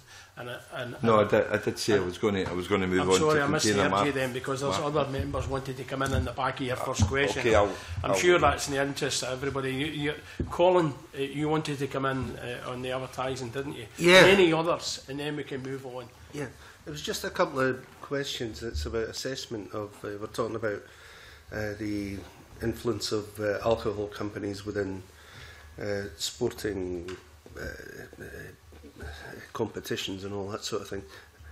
Has there been an assessment on the amount of money that, as I'm sure the sporting authorities might complain if there is a massive amount of uh, sponsorship that suddenly leaves because of uh, the, uh, the, you know, because we happen to change the law on sponsorship. Uh, and the other thing is uh, the, the, uh, it was put to me as I was actually coming into this uh, meeting today in terms of there's now an awful lot of uh, sports clubs, golf clubs, etc., etc., etc., who receive uh, preferential um, uh, loans, all the rest of it, through uh, uh, alcohol companies. You, know, you think of the Belhaven beers and all this sort of thing that are quite prevalent in golf clubs. Now, if we change uh, the law, has there been an assessment of how much money might be taken from sporting events and or and sporting uh, organisations. One at the, um, Ireland was considering um, introducing phasing out alcohol sponsorship of sport, and for their public health bill, they may have done an impact assessment, but I haven't seen it, so I, I don't know for sure. But um, I mean, there are alternative models. I mean, I know beer companies um, have like preferred beers at events, and they get um, the sponsored beer and such. But there are alternative models for funding sport, like with Hearts Football Club has demonstrated and led the way, and and a different ethos, and it requires a, a different ethos, and it and it would require yeah alternative sources of funding. So. I think we would recognise that and we would advocate maybe a phased removal if, if we to um, go down this road because to, to allow other funders to come on place. But I mean, as it is now, we have a lot of you know, funding, say, football, which is around addiction, around like um, betting and alcohol, and then payday lenders. And it, you know, to move away from that to get more um, family oriented or more congruent sort of funders of that sport, I think you would have to phase that out because at the moment it attracts you know those kinds of um, funders and I think it, it does need um, a planned and phased change and a change of ethos. Do you not think that it would be uh, appropriate to at least work out how much in terms of a financial hit these things would uh, you know legislation like this would make on uh, sporting events and sporting clubs before you know before we actually go about finding a way of getting out of it because funding can be very difficult to find as we all know principle and, and we're not saying overnight to introduce a law that banned it but to have a phased removal which would allow people to source alternative funders and to allow other models of funding for the games i mean we live in quite a rich society and there are a lot of businesses who are not alcohol related who can fund sport and sporting events. So, I mean, it's not impossible. Um, mm-hmm. but if there's no risk, if there's no financial assessment on how much, how can we tell what the hit is going to be on them? Some, some others want to respond to you as well, um, uh, Colin. Uh, uh, Dr. Dr. Rice. Yes, I'll, I'll, I'll try and, and, and, keep it brief, but I, I, am a football supporter, and one of, my, one of, my, arguments was always that this you might mean that Scottish football will be dragged down to the level of French football. Now, I could live with that. You know, as a country that functions you know, perfectly well with, without advertising. Um, we, we did some work at UK level on, on sports sponsorship, and in fact, if you look at the English Premier League, very financially successful league, there's, very, there, there's only one football team sponsored by a beer company, and that's by, by a, a Far Eastern beer company. And it seems that English football has become too big for the beer market. And in fact, the, the, the biggest club that's sponsored by an alcohol company in the UK is, is in Scotland. So I think that the, the argument that we'll hear is that you know sport is is is uh, hooked into this money and can't live without it. I, I, I don't think the evidence supports that. But you're absolutely right that if it came up as a firm proposal, there would need to be you know proper analysis of it maybe you know the you know uh, restrictions on alcohol advertising as it's described in the bill are much more limited. I think you've made the argument they should be extended rather than. What do you what do you understand the the limits of what's being proposed then, in terms of targeting for children? Yeah, well, I, I think the. Uh, as I say, what's being proposed, I think, are, are, are a group of, of good ideas, but I, I think the limits of them are, are firstly that they are working in the presumption that, that we need to show that, that advertising is, is targeted at, at specifically at young people and, and that the, you know, round, round schools and so on, when in fact most of the exposure is, is not there. And I, I, the second issue would be that billboard advertising is becoming a smaller and smaller part of the advertising industry. The real prize here is social media. Uh, which is a very difficult area to legislate. Finland are currently trying to, to do that. So the, these are, you know, useful measures, but there are bigger, bigger fish to fry here um, if it was possible to construct legislation on, on that. But the social media issue particularly is, is not, a, not an easy one, but it's one that needs to be taken on. I don't know whether anyone else wants to come in, but uh, before I go back to Richard, does anyone else want to? No? on advertising Dennis. Yeah, surely. Just, just very quickly, convener. Um, the the thing we would probably want to do is to protect um, the the the advertising to more ethical and perhaps moral. Because if you remove it from say alcohol advertising, if you then go into say PD lending, as you mentioned, or um, say betting you know, we've actually created another problem. We've created perhaps an even, I don't know, maybe even a bigger problem uh, in terms of uh, uh, people's well-being and addictions. So how do you how do you suggest that we we control advertising to ensure that we don't actually create a bigger problem, or is the Dr. Rice's say uh, uh, maybe uh, suggestion is that we just don't advertise at all? I, I'll have another crack at that one. Just simply say the first thing we need to do is to stop uh, advertising being, being self-regulated. I think that's a big change. My own profession used to be self-regulated and now it isn't. Majority membership of the GMC is now non-doctors. Uh, somehow the advertising industry seem to have retained the right to self-regulate and that would be absolutely the first step to, to, to take to, to change the nature of advertising regulation would be number one on my, my, my list.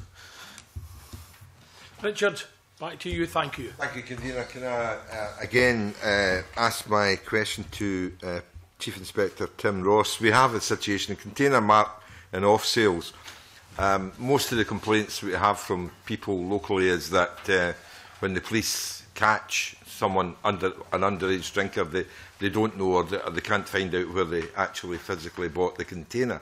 Uh, in this bill is a proposal for uh, an identification mark, which will be interesting to find out later how that will be done, but an identification mark on each container uh, to show where it was, was bought. Um, in your view, is that workable? And in your view, whilst it says off-sales premises, my view is that every um, you know uh, supermarket, wherever um, you know, uh, someone said earlier you could get into some um, local um, shop or, or, or some eating place and, and find a, a, a alcohol, that every, every area where alcohol was sold, there should have a specific code or identification mark. In your view, is that workable and would that help the police in order to establish where uh, alcohol has been bought by, say, an underage drink, uh, drinker? yeah, I mean, I think container marking schemes are workable and that they have been uh, undertaken before on a voluntary basis um, not on a widespread basis. And I understand the proposal is that it would be by um, order, if you like, of the licensing board in a particular area. So we're not looking at population-wide uh, schemes. So the schemes are workable on that basis in terms of trying to track back um, containers to premises. Off sales is obviously because of that's the particular nature that uh, we'd be looking at trying to address the, the sale of alcohol to young people. It, it has limits. Uh, I think you know the environment licensing environment has changed since bottle marking schemes were first used, perhaps before the introduction of the current act. And I think with the likes of Challenge 25 and test purchasing, they perhaps give us some stronger options um, for dealing with premises that do sell drink to uh, underage people. Um, and bottle marking schemes perhaps are a strength in more in developing that intelligence to allow more uh, targeted um, enforcement to take place. Uh, as I say, the schemes have worked in the past, and I wouldn't say they couldn't work again. They've had varying success uh, in varying areas, uh, and there are, I fully appreciate, difficulties, and sometimes the fact that somebody has uh, a drink from a certain premises doesn't mean that the premises has committed an offence in selling that, depending who the third party has been who bought it. Um, So I, I think we're in a position now where bottle market scheme has worked. Uh, and if there was community support for it, and perhaps more importantly, even support amongst the premises in the area uh, who might wish to take part in a, a scheme of this nature, uh, then it could well be a success. Um, but perhaps, as I said, more to inform future work in terms of uh, management and operation of premises. Anyone else responding to that one? No? Are you saying that, that, that, that this is a measure that it could or should be available to a licensing board for a given area, then I'd it's an interesting one. I mean, I'm, I'm, not, I'm certainly not against it. Um, and I should point out, I really am here as a representative of North Ayrshire Alcohol and Drug Partnership today, rather than uh, the police. But nevertheless, of course, I'm a police officer. Um, so I'm, I'm certainly not against it. I think the environment has changed slightly in recent years. Uh, and I think in terms of what schemes of this nature deliver for you, um, if they're a voluntary scheme that the licensed prem the premises license holders take part in voluntarily, then I think that's a good thing um, because you need that buy-in. Uh, in terms of the evidence it provides you and the outcome it has and the impact on drinking in the area, um, I think we'd have to take that on a case-by-case -case basis. Uh, and as I say, I think perhaps its greatest potential is in providing that evidence base or intelligence base to allow further action. Okay. No one else in that one? Okay. I've got... Um, Rhoda. Thank you. Um, can I turn to the part of the bill about um, notification of offenders to GPs?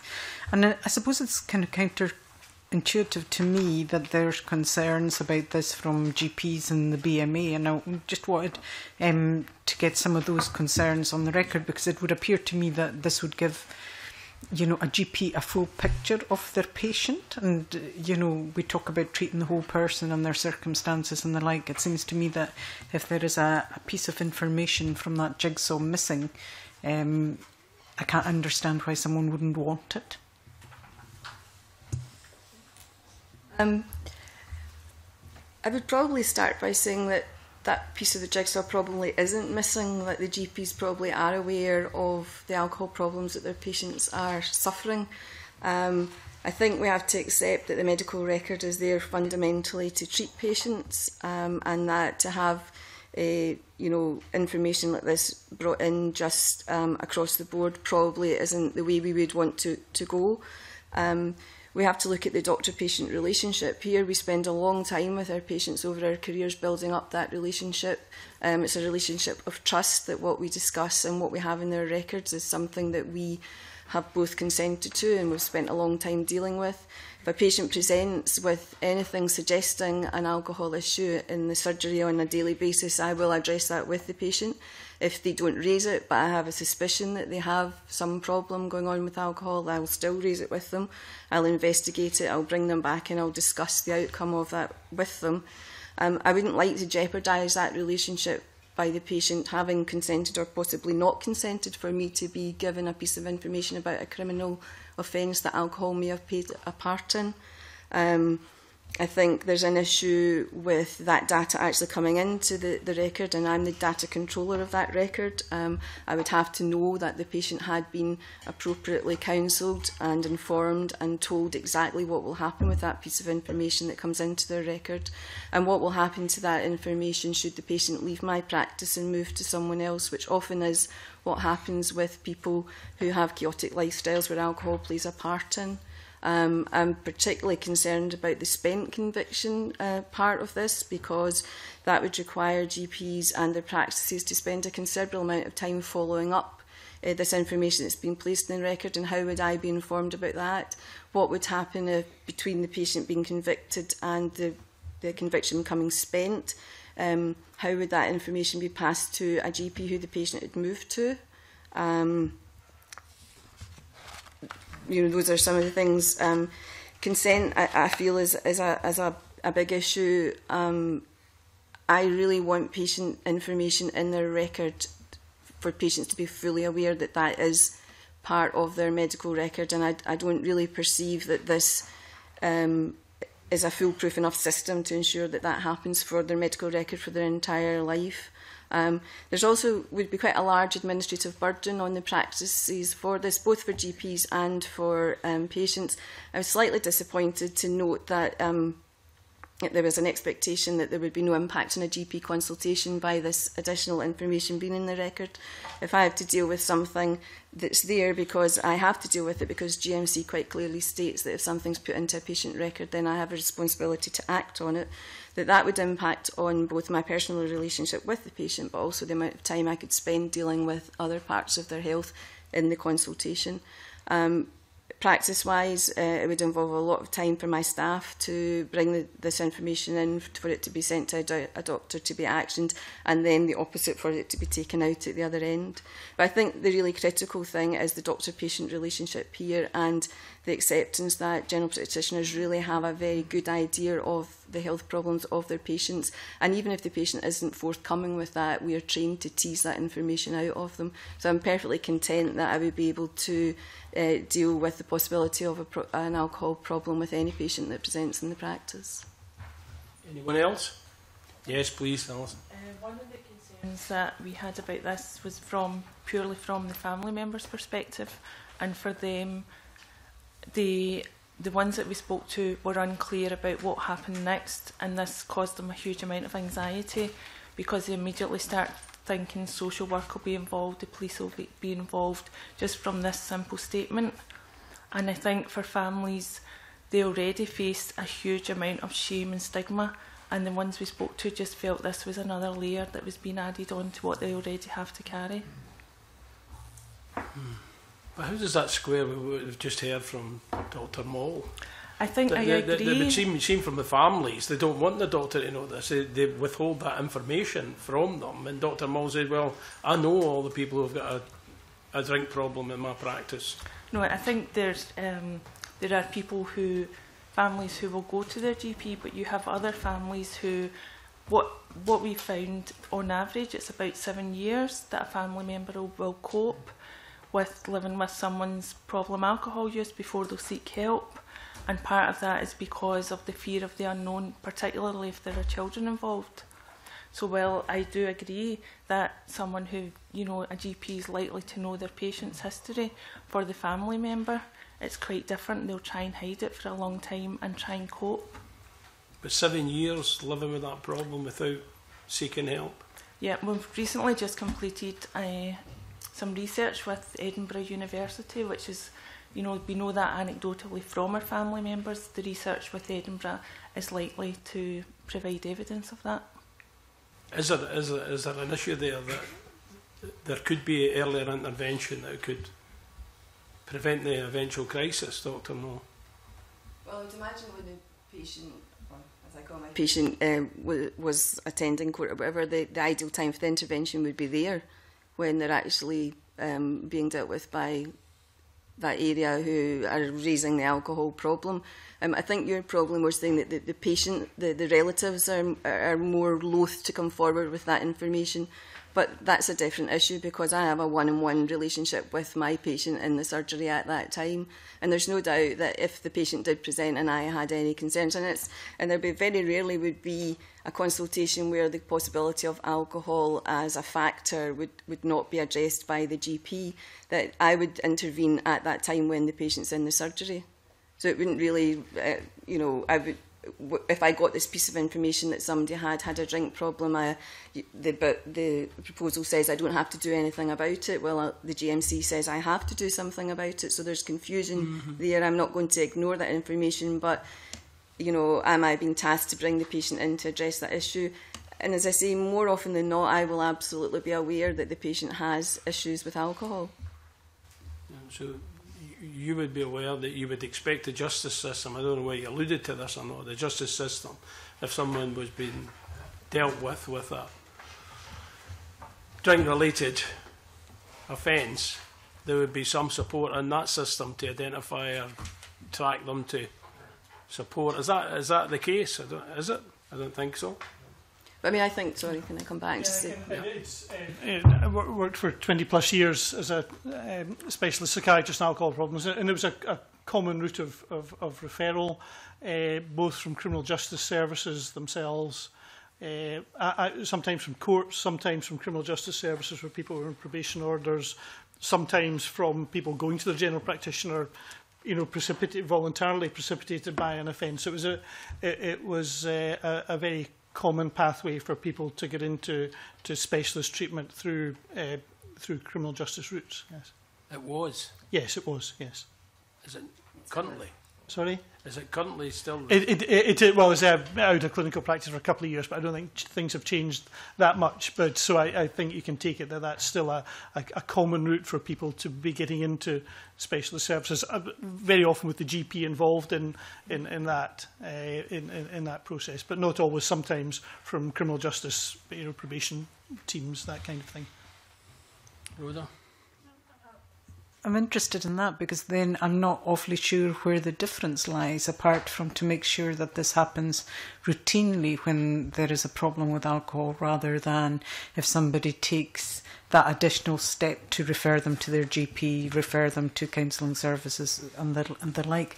Surely, if it was happening Uh, you know, you could get earlier intervention, you could get support for somebody, you might be able to, to deal with the problems long before they become worse and people end up in prison and the like because of offending behaviour. Yes.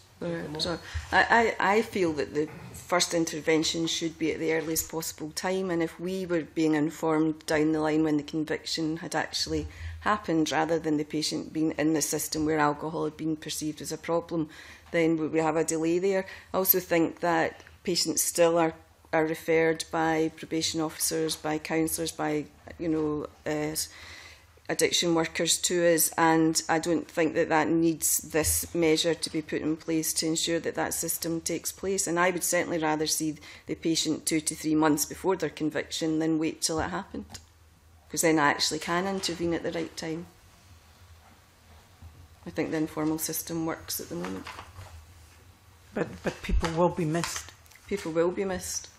But you have to balance that against all the other issues that I've raised about the loss of the doctor patient relationship, the potential impacts on the families, the administrative burden, um, you know, the data controller procedure, the GMC opinion. Um, that has to be balanced out, and I don't think that this process will, will help my relationship with my patient. Bob? Uh, Thanks, Convener. I had kind of written down a couple of phrases in relation to, to the discussion. I'd written down trust, I'd written down patient buy-in, and, and I'm not sure if the provision within the bill facilitates either of those things, if I'm been, been honest about it. Um, so, in terms of patient buy-in, I'm just thinking of um, a constituent of mine, uh, any of us around this table, actually, who gets involved in, in an offence irrespective of how major or otherwise, where alcohol was consumed at the time and to be convicted and then I don't know how I would feel or any of us would feel about that being flagged up to the GP in terms of uh, trust or a part of a criminal record being kept in our our medical records. Um, I think we're all thick-skinned and worldly wise enough we'd get on and deal with it, but a number of my constituents, getting them to go to a doctor's in the first place is quite a significant achievement, particularly for the hard-to-reach groups, and I would be concerned that those least likely to seek medical help for a variety of conditions and the ones most likely to uh, need support from GPs might be the ones who take greatest umbrage to to that, that trust relationship. So some comments on that would, would, would be welcome, whether witnesses agree with that or not. But also what I'd written down was targeting and that is, and I'm delighted. Like Quaff looks as if it's on the way out from 2017 onwards. But if, but if uh, politicians were to say to medical professionals, pick the 100 people in your practice you think who are most at risk of alcohol abuse, will give you more time to spend with them in a targeted fashion. Would you say, give me the 100 people that have committed an offence where they have been intoxicated at the time? or would there be another way of doing it? So I'm just even wondering in terms of targeting the time of the GP, if this is the most effective way of uh, to get the outcome that Dr. Simpson quite understandably wants to achieve. So um, a bit more about uh, eh, hard to reach groups and whether they'll be dissuaded from going to GPs with a variety of health conditions that you struggle to get to make appointments and keep appointments currently, um, and whether or not this would be the best way, because this would obviously take up GPs' time to, to, to go through this, is that the best use of, of, of clinical time to target at-risk groups uh, of, of alcohol abuse and who are damaging their health? So I, I would agree with your first point. I definitely agree that these are difficult to reach patients and any barrier that's put in the way is only going to have negative consequences. And as you say, not just on the, the, the problems related to alcohol, but all the other uh, medical conditions that can go with that.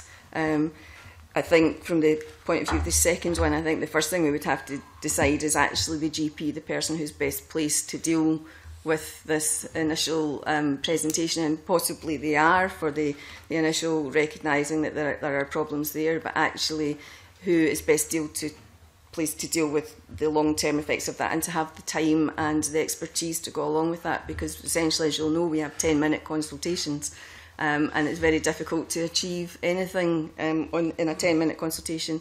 And to bring someone back a week later, you've lost the impetus. So I think we would have to look at actually, yes, GPs are, are the ones who, who do see most patients most of the times, but we would probably be best to be a route to someone who has the time and expertise to deal with the ongoing problems. Okay. And just in terms of, uh, I'm trying to get to target because Dr. Simpson obviously wants to target at-risk groups where alcohol is a contributing factor to offending or actually it's a public health initiative rather than a criminal initiative, I would, I would suspect. Um, if you wish to target uh, those most at risk of public health hazard due to alcohol use and abuse, is this the way you would like to use your time as a GP or can you think of other ways to use your time as a GP? I think that's a difficult one. I don't think I can answer that just now without having more information because obviously having not known who has, who is convicted and whether they, it's a one-off or it's a long-term alcohol problem would, mm-hmm. would cause me, mm-hmm. I would have to know the balance of that.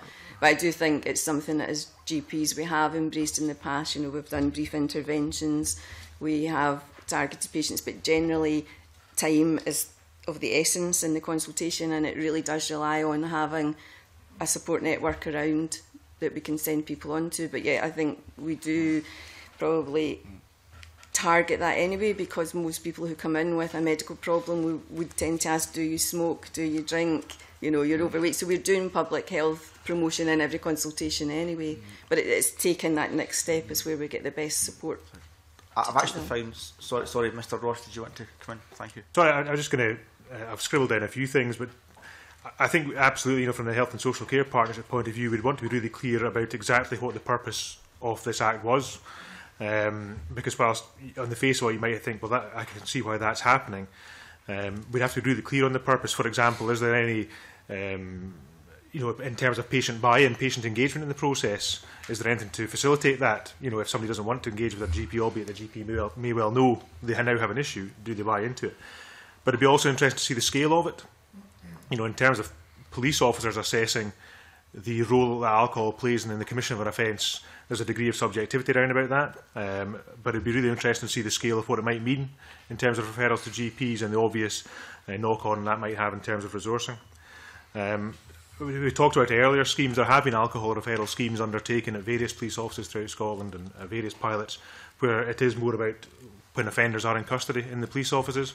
Uh, they get brief interventions there so that, that might be something to look at as well. And in terms of targeting, um, yeah, that's a really valid point, again, because it comes down to resource issues. Um, and, you know, how do you choose between the person who has committed an offence because they've been drunk, because they don't normally drink, you know, and they've gone out and got drunk too much and, and committed an offence, as opposed to the, the long-term alcoholic in the community who perhaps doesn't come to police attention. So it's, I'm not saying it's a bad thing to do, but I think in terms of the limited resources we have, we maybe have to look and see is this the best way to use those resources? I, I may come back in later, Commissioner, but that, that last comment from uh, eh, Dr. Moll I found quite helpful in relation to alcohol brief interventions. So got this fictitious 100 alcohol brief interventions that Dr. Moll's going going to do, and you've got all this additional time being given for you to do it, which would be wonderful. I I know. Um, do you think they're more likely to have an impact? And this may be a difficult question to ask. More likely to have an impact if you identify your patients in, in your caseload at the moment, who would be most likely to benefit that based on the current relationship you have with your patients and the information you have on them, or by giving 100 people as they come forward who have been up in court? Which, what's most likely to have an effective alcohol brief intervention in terms of having the positive health outcome that you're looking for? That's what I'm kind of trying to get to. Okay. Do you have an answer? Yes, maybe take us out having been, been involved in the development of the of the alcohol brief intervention program and and I uh, think it's very important you mention that to put it into context uh, it's the first national program of its type in the world um Scottish programme has been up and running for 2008 and it's been a big success numerically mostly due to general practice taking it up um there was a good st structure e, established good software and all of that to make it easy to do but that program has outperformed its target, you know, ev every year, and you know, people are coming to look at how this has been achieved, and that has also coincided with considerable improvements in, in alcohol-related health in Scotland. So that's been a big, big success, and primary care have really bought into that, and, and that's part of the, the context of this discussion needs to be that actually things are, are, are being you know, lots of very good practice in, in, in Scottish general practice, uh, and the ABI programme supports that. Uh, your question of targeting related to my, my, my previous day job in, in, in, in Tayside and, and um, where well, again, things have improved in Scotland with this, but there's still a shortage of treatment. There's an unmet need for alcohol. And yeah, the people who are most likely to benefit and who I most wanted to see were the people who most wanted to be there. And I think there were various ways of, of, of rationing treatment, and we need to use that word because it's a reality. My feeling was always that rationing that was in the hands of the patient seemed to me to be the fairest way to do it. The people that wanted to be there you know, got there and, and they were often getting there via their general practitioner. So um, I, I, I think that's what I took from your targeting question is if you have a, a, a limited resource, we would love to have unlimited resources, but we don't. Who's it best to target at? And um, my answer to that is the, the, the people who really mean business would okay. be my answer. Thank you. I just want to add anything, Dr. Mull. No, you know, it is, it is trying to get people who want help to seek help and take it forward, and that is the difficult aspect of it. But you know, we do it in the surgery day We discuss alcohol. I'd probably discuss alcohol in 60% of my consultations, no matter why you're there. So we are beginning to do that, and, and it's getting the network round about us to support the patient and their family. Okay, that's really helpful. Thank you. Thank you. I wonder if that takes us on to the next bit, you know, another part of the bill, alcohol awareness training, and uh, as an alternative to fixed penalties. Um, I don't, I don't know whether the specific word training, but I mean, uh, you know, in terms of of direction, support to people rather than the the, the criminal uh, sanction or uh, uh, well, that's uh, almost what we've been speaking about here. That that that training could include, you know, some sort of uh, counselling support referral or even asking the question if you, have you discussed it with your GP have you thought about these things I, you know I, I, I suppose uh, I don't know what people's view as uh, uh, as uh, to this and that, that provision in the bill that uh, training would be offered don't know whether we're training but that's what's there but uh, it'd be offered as an alternative to a fine when offence is committed under the influence of alcohol any responses Mr Ross um, yeah I think we would welcome that Um, we recognise that generally education and raising awareness is more effective in many cases than, than um, enforcement, and certainly in terms of the fixed penalty notices. And if, I think if we had that as an option in circumstances where we felt it would be appropriate for the, the offender to be offered that uh, as a means to negate having to pay a fine, which is quite often punitive in the people you deal with anyway, and, and actually doesn't assist them at all in their situation, um, then it'd be very welcome. It's certainly, you know, you, you look at early and effective intervention that's been running now for, for younger people, uh, and it's been really good. And we certainly looked at doing this in Ayrshire uh, to see if we could do it, and at, at the time we couldn't because the, the procedures didn't allow us to, but we'd certainly welcome that as an option. Okay, thanks. Anyone else?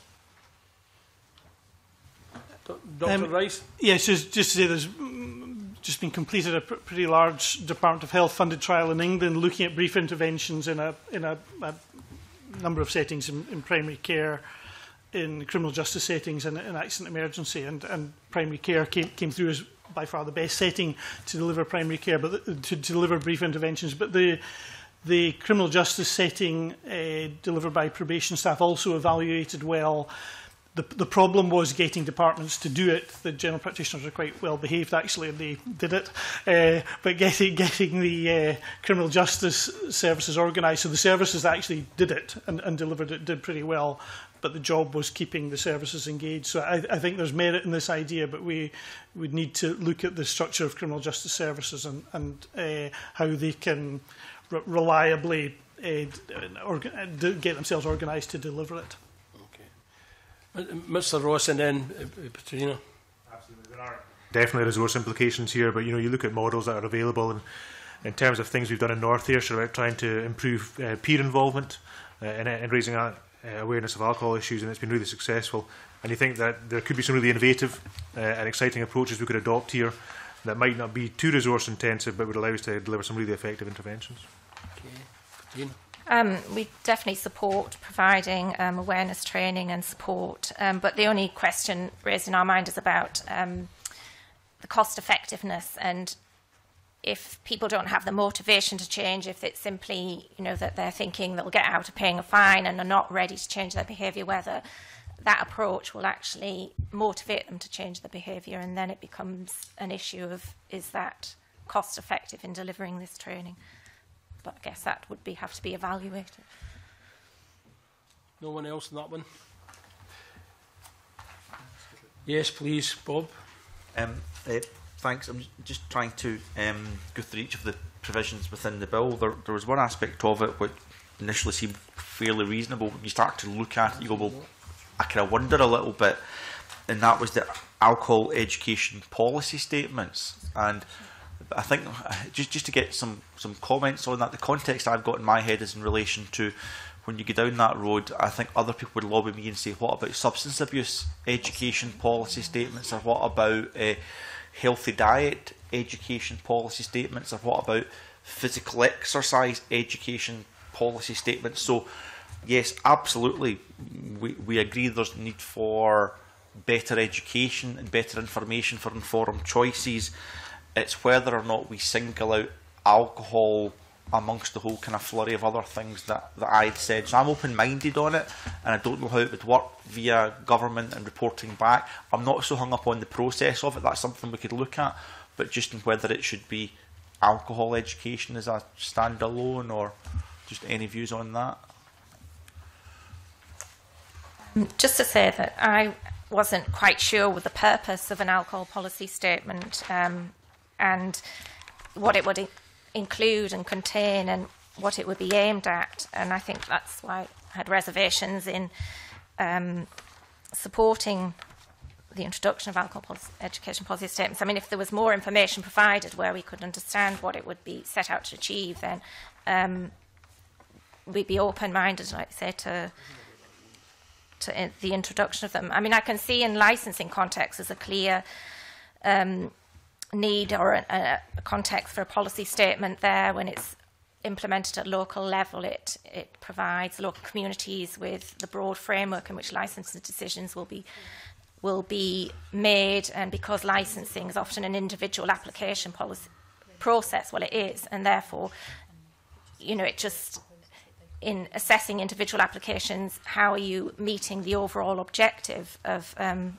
the licensing system, so I can see it has a place there, but in an education context, I'm not sure how it would work in relation to local authorities' control over education policy, and is it national and local? I don't know. There was not enough information there for me to um, come to a decision okay, on that. That's helpful. If anyone else wants to comment on, on that Dr. Yes, I, I, I, could say that I'm, I'm aware that within education, the, the preferred approach is, is to uh, approach alcohol issues in a kind of general life skills, personal, social education kind of way. So if you like the old style stuff of, you know, getting getting the doctor or the nurse in for a, a, a half an hour to speak to the kids isn't what happens now, and teachers now in, incorporate that within the, the, the, the, their curriculum. So I think that's the general approach.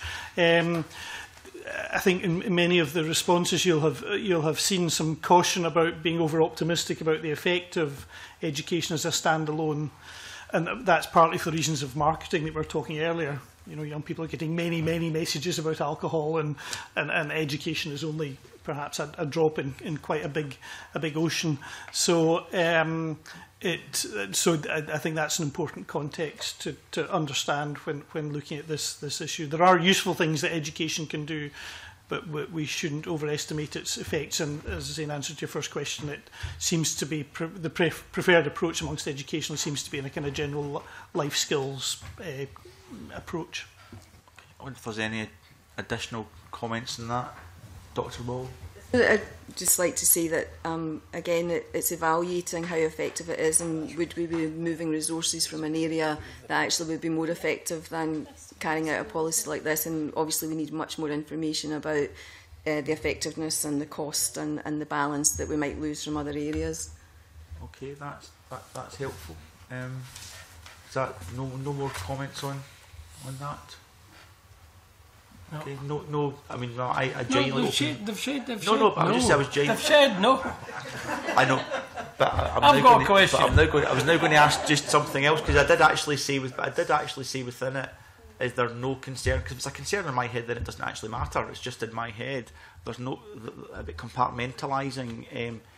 health education between alcohol or substance abuse or healthy lifestyles or whatever, which was kind of the main part of my question. Which, none, thank you for none of you answering that part of my question, which is why I come back in.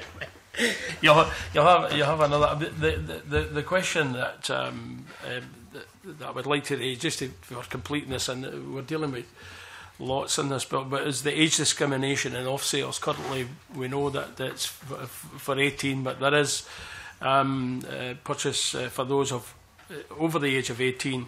But um, licensed premises uh, uh, may have a voluntary, uh, may voluntarily apply uh, an age limit which is higher than this, and we've had you know mixed responses to this. Um, Section 3 of the bill would re re remove that uh, flexibility, uh, that voluntary code. Is it, is that something that people are, are relaxed about, content with? You'll have an opportunity to come in, Richard, but you must be patient. You're not a member of this committee any longer, so you need to wait till we're finished. yes, trying your patience, but anyway, we'll get. If, if uh, yeah, um, I, I, I really don't don't see there's any public health gain in removing the flexibility. I realise there's more to this bill than public health but I don't see what the public health gain is in, in, in removing the flexibility. It's, it's not a flexibility that I understand has been used. I, I'm not aware of any licensing board who've done this.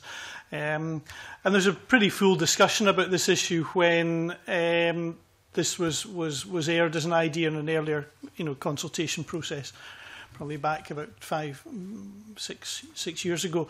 Um, and it wasn't an idea that, that found favour, and there was some, some pretty active uh, lobbying against it. I still think it was an interesting idea that there should be a, a, a split uh, age limit be, with uh, you know people being able to, to buy alcohol in, a, in a pub or restaurant at the age of 18, but, but not an off sales age of 21. that didn't find favour.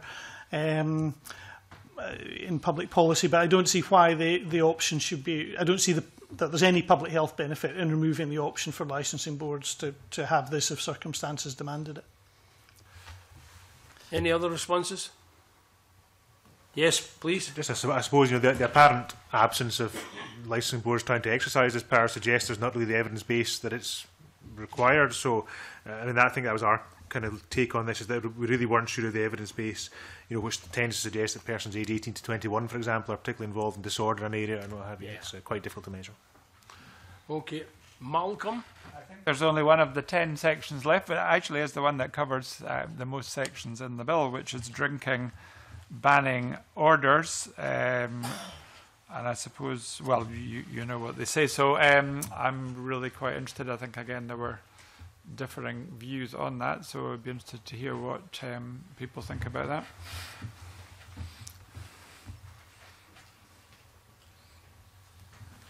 We're look, to you, Mr. Lawson, Yeah, well, again, I suppose I'll start this. You know, I, th I think as uh, an alcohol and drug partnership and health and social care partnership, uh, we welcome this as an option. And um, there are obviously two routes to obtaining the orders, uh, and we can see uh, circumstances where they would be very useful. Um, although I think they need a bit of work more around exactly how they would work uh, and how effective they would be, because undoubtedly there are problems attached with them as well. But it kind of gives a, a phased approach, to the elements of the bill, the Licensing Scotland Act 2005, which allow us to deal with violent offenders linked to licensed premises. And this maybe allows a bit more a stepped approach for those that don't reach that threshold, um, that we can try and influence. Um, and then in terms of linking it to an approved course, uh, Again, we've talked already about the benefits of education and awareness for those that are ready and willing to undertake that. Um, so it would be good if that was an option uh, that could indeed start to impact on um, public's use of alcohol. I suppose you're the person who might be able to answer this. Does, does it add anything to the options that are already available under the criminal law? Yes, I think it does. It'd be interesting to see exactly what the impact would be in terms of oh. policing. Um, mm. you know, it, would be effectively a civil order, with the breach of which would be a criminal offence. Uh-huh. Uh, and certainly, if, a, if the offence was, I suppose you you start to think about it and think, well, is this easy enough to police reactively where the order is breached? Yes, but is there an expectation that perhaps you do some proactive policing around about this? I'm not entirely sure how we could do that. Um, but I, I think, yes, it certainly looks like it could fill a gap that exists just now and could be a useful option. Okay. Dr. Rice. Yes, I, um, my own clinical patch was in, was in Tayside, and I had some experience of, of, of the, you know the same goal being being achieved mostly by sheriffs in smaller towns. Seemed to be my observation that you know sheriff in such and such a town would say You know, uh, I, I don't want you to be drinking anymore, and the police would know that, and it seemed to actually work quite quite well in the smaller communities. So that, that's my own observation from it. Um, I think though that we, when we're thinking about this, we need to acknowledge the fact that we are no, no longer a pub-going nation. Um, 1994, 51% of alcohol was sold in pubs. 20 years later, it's heading for less than a quarter. So there's been a big shift from pub drinking to home drinking. It's been a big part of the challenges that we've faced.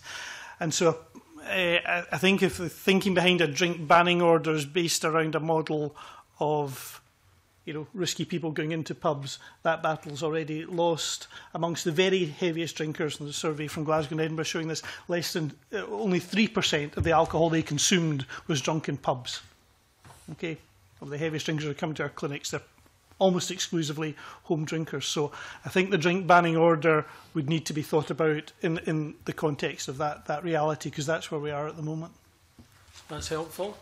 Um, if there's no other questions for, you know, we've got approximately 12.15 for, for this, but if there's no other questions um, from the committee members, I'll, I'll, I'll ask um, Richard Simpson if he wishes to ask any questions or Yes, I think if I can just go through them in order. The, the yes. advertising, uh, first of all, thank uh, the witnesses for their, their input on that. We are limited as to what we can do. We can't introduce the loi Evin here, which uh, uh, Sarah Williston tried to do in England, but was blocked by the UK government. So there is a problem there. Um, but I, I just uh, wonder whether uh, the witnesses are saying that we should try and extend it at the moment to include sporting events which affect adults the, bill is written is designed to say if you've got an under 18 game or match, you shouldn't be putting screen things up on the screen, you know, on this thing that goes around the football pitch that would just not happen when it's an under 18 game. So it is a limited, limited by our legal opportunities, but limited by, but whether you feel we should go further at this point in time. I'd be all for that. that are constantly exposed to alcohol, and I know we talked about children earlier, but adults are very much exposed as well. And for us, we work with you know over 18s, and the amount of calls that we get with just this, it's everywhere. How can you know?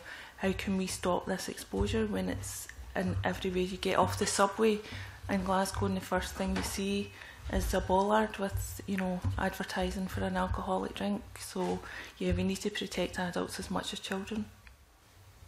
Okay, well, I think I think that that's that's fairly clear, and, and it may be the government needs to look at that, particularly in the context of minimum unit pricing, because if the courts do decide in favour of that, which they may well do, as a public health issue in Scotland, uh, then the additional profit to the supermarkets, particularly, will be over 100 million pounds a year and some of that may well go into increased advertising. So I don't know if the witnesses would agree that even if this bill, which is limited, goes through, that the committee should consider recommending that as a part of their report. I think that was a statement, right? If you've got some questions, Okay. Um, yeah, on, on the container marking off sales, um, I just wonder, the witnesses, it seemed to be a suggestion this might be a universal scheme from I think it was Richard Lyle was questioning on that. Uh, the way it's done is written to be limited in both terms of of the, the licensees that are affected and the um, and the period for which it operates. Do, do, do they think that's appropriate to keep that as a, a temporary measure? And yeah, I think as I said as I said earlier, I think where the schemes have been most effective in the past, and certainly my own experience, are where there's been community buy-in and local premises buy-in, uh, and that's where they have worked best. So from that localization point of view, absolutely, uh, it's important. It's not a kind of universal or um, measure. Um, I suppose the argument would be whether the opportunity still exists if the if there was a statutory power, whether we'd still do things on a voluntary basis as well. Um, you know, is, is the statute required? I, I'm not sure. I'm not entirely clear on that yet. Okay. Uh, if I can go on to notification, I mean, I rose, raised this uh, chair, put this in, although the consultation was BMA and GPs were against it, and the courts were against it for the cost, because in 30 years as a GP, the only people I got referred to are the ones who actually had a, a really serious offence, whereas the ones where alcohol was merely a small part of the offence, they weren't referred. And given that each GP deals now with 400 brief interventions per full time equivalent GP a year. The objective of this was to focus this, and it is a voluntary thing in that the, the, the, the uh, offender does not need to actually give the GP's name.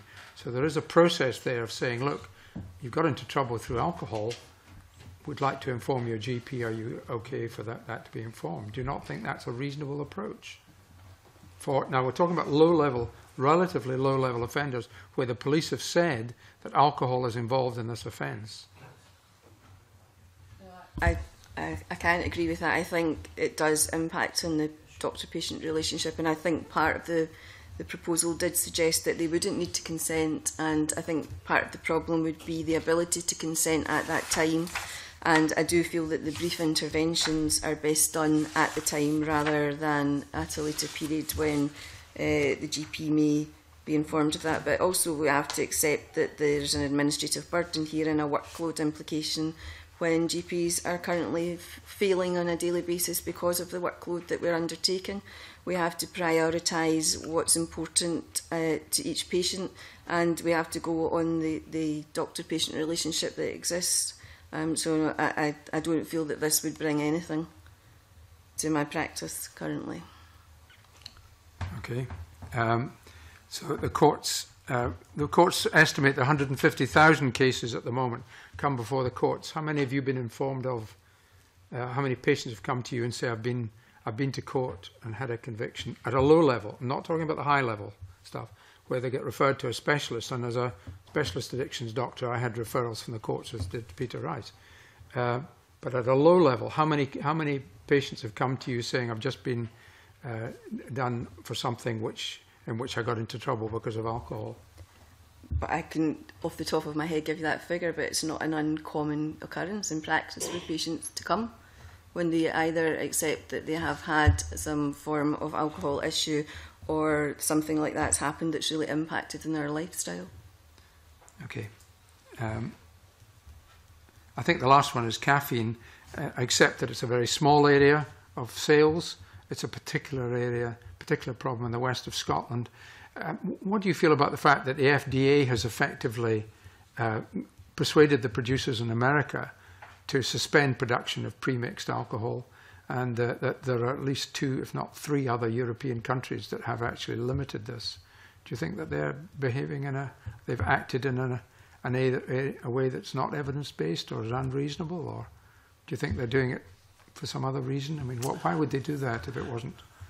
Well, I think my response both today and in the written thing is, is, is one of priority. So if there's lots of um, time and, and, and scope for legislation, then yes, this this might be something that that that that, that you would look at. The American situation was interesting. If you look at the American evidence, their perceived trouble with, with caffeine is to do with um, sportsmen in universities. That's the people who they thought were causing trouble with, you know, with um, uh, with caffeine. So quite a quite a different group from uh, from what was described in Scotland, which I think fitted with my kind of notion that this is a, a, a almost a, a kind of craze, if you if you, if you like, that that uh, amongst a, a, a subpopulation.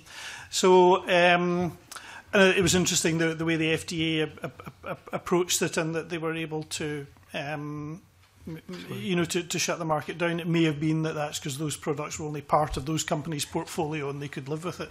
So it's an, an interesting development. Um, I, I haven't followed the Danish story too closely, but I'm aware that, that they've done that. But for in my view, it's an issue of, of, of, of whether it's a high priority and the point I made earlier that I think uh, excessive focus on this issue might be, might be detrimental to, the wider problems. Um, I think some of our large producers and large retailers are quite happy to see these products in the spotlight because it suits them quite well, and uh, that worries me. Okay, thank you very much. Thank you, Richard. And I thank all of the witnesses that have been with, with us for quite a while now and for all of the evidence you've given has been very helpful and I hope you'll see it reflected in the final report. Thank you very, very much uh, for your attendance this morning. Uh, we're now going to private session as we previously agreed.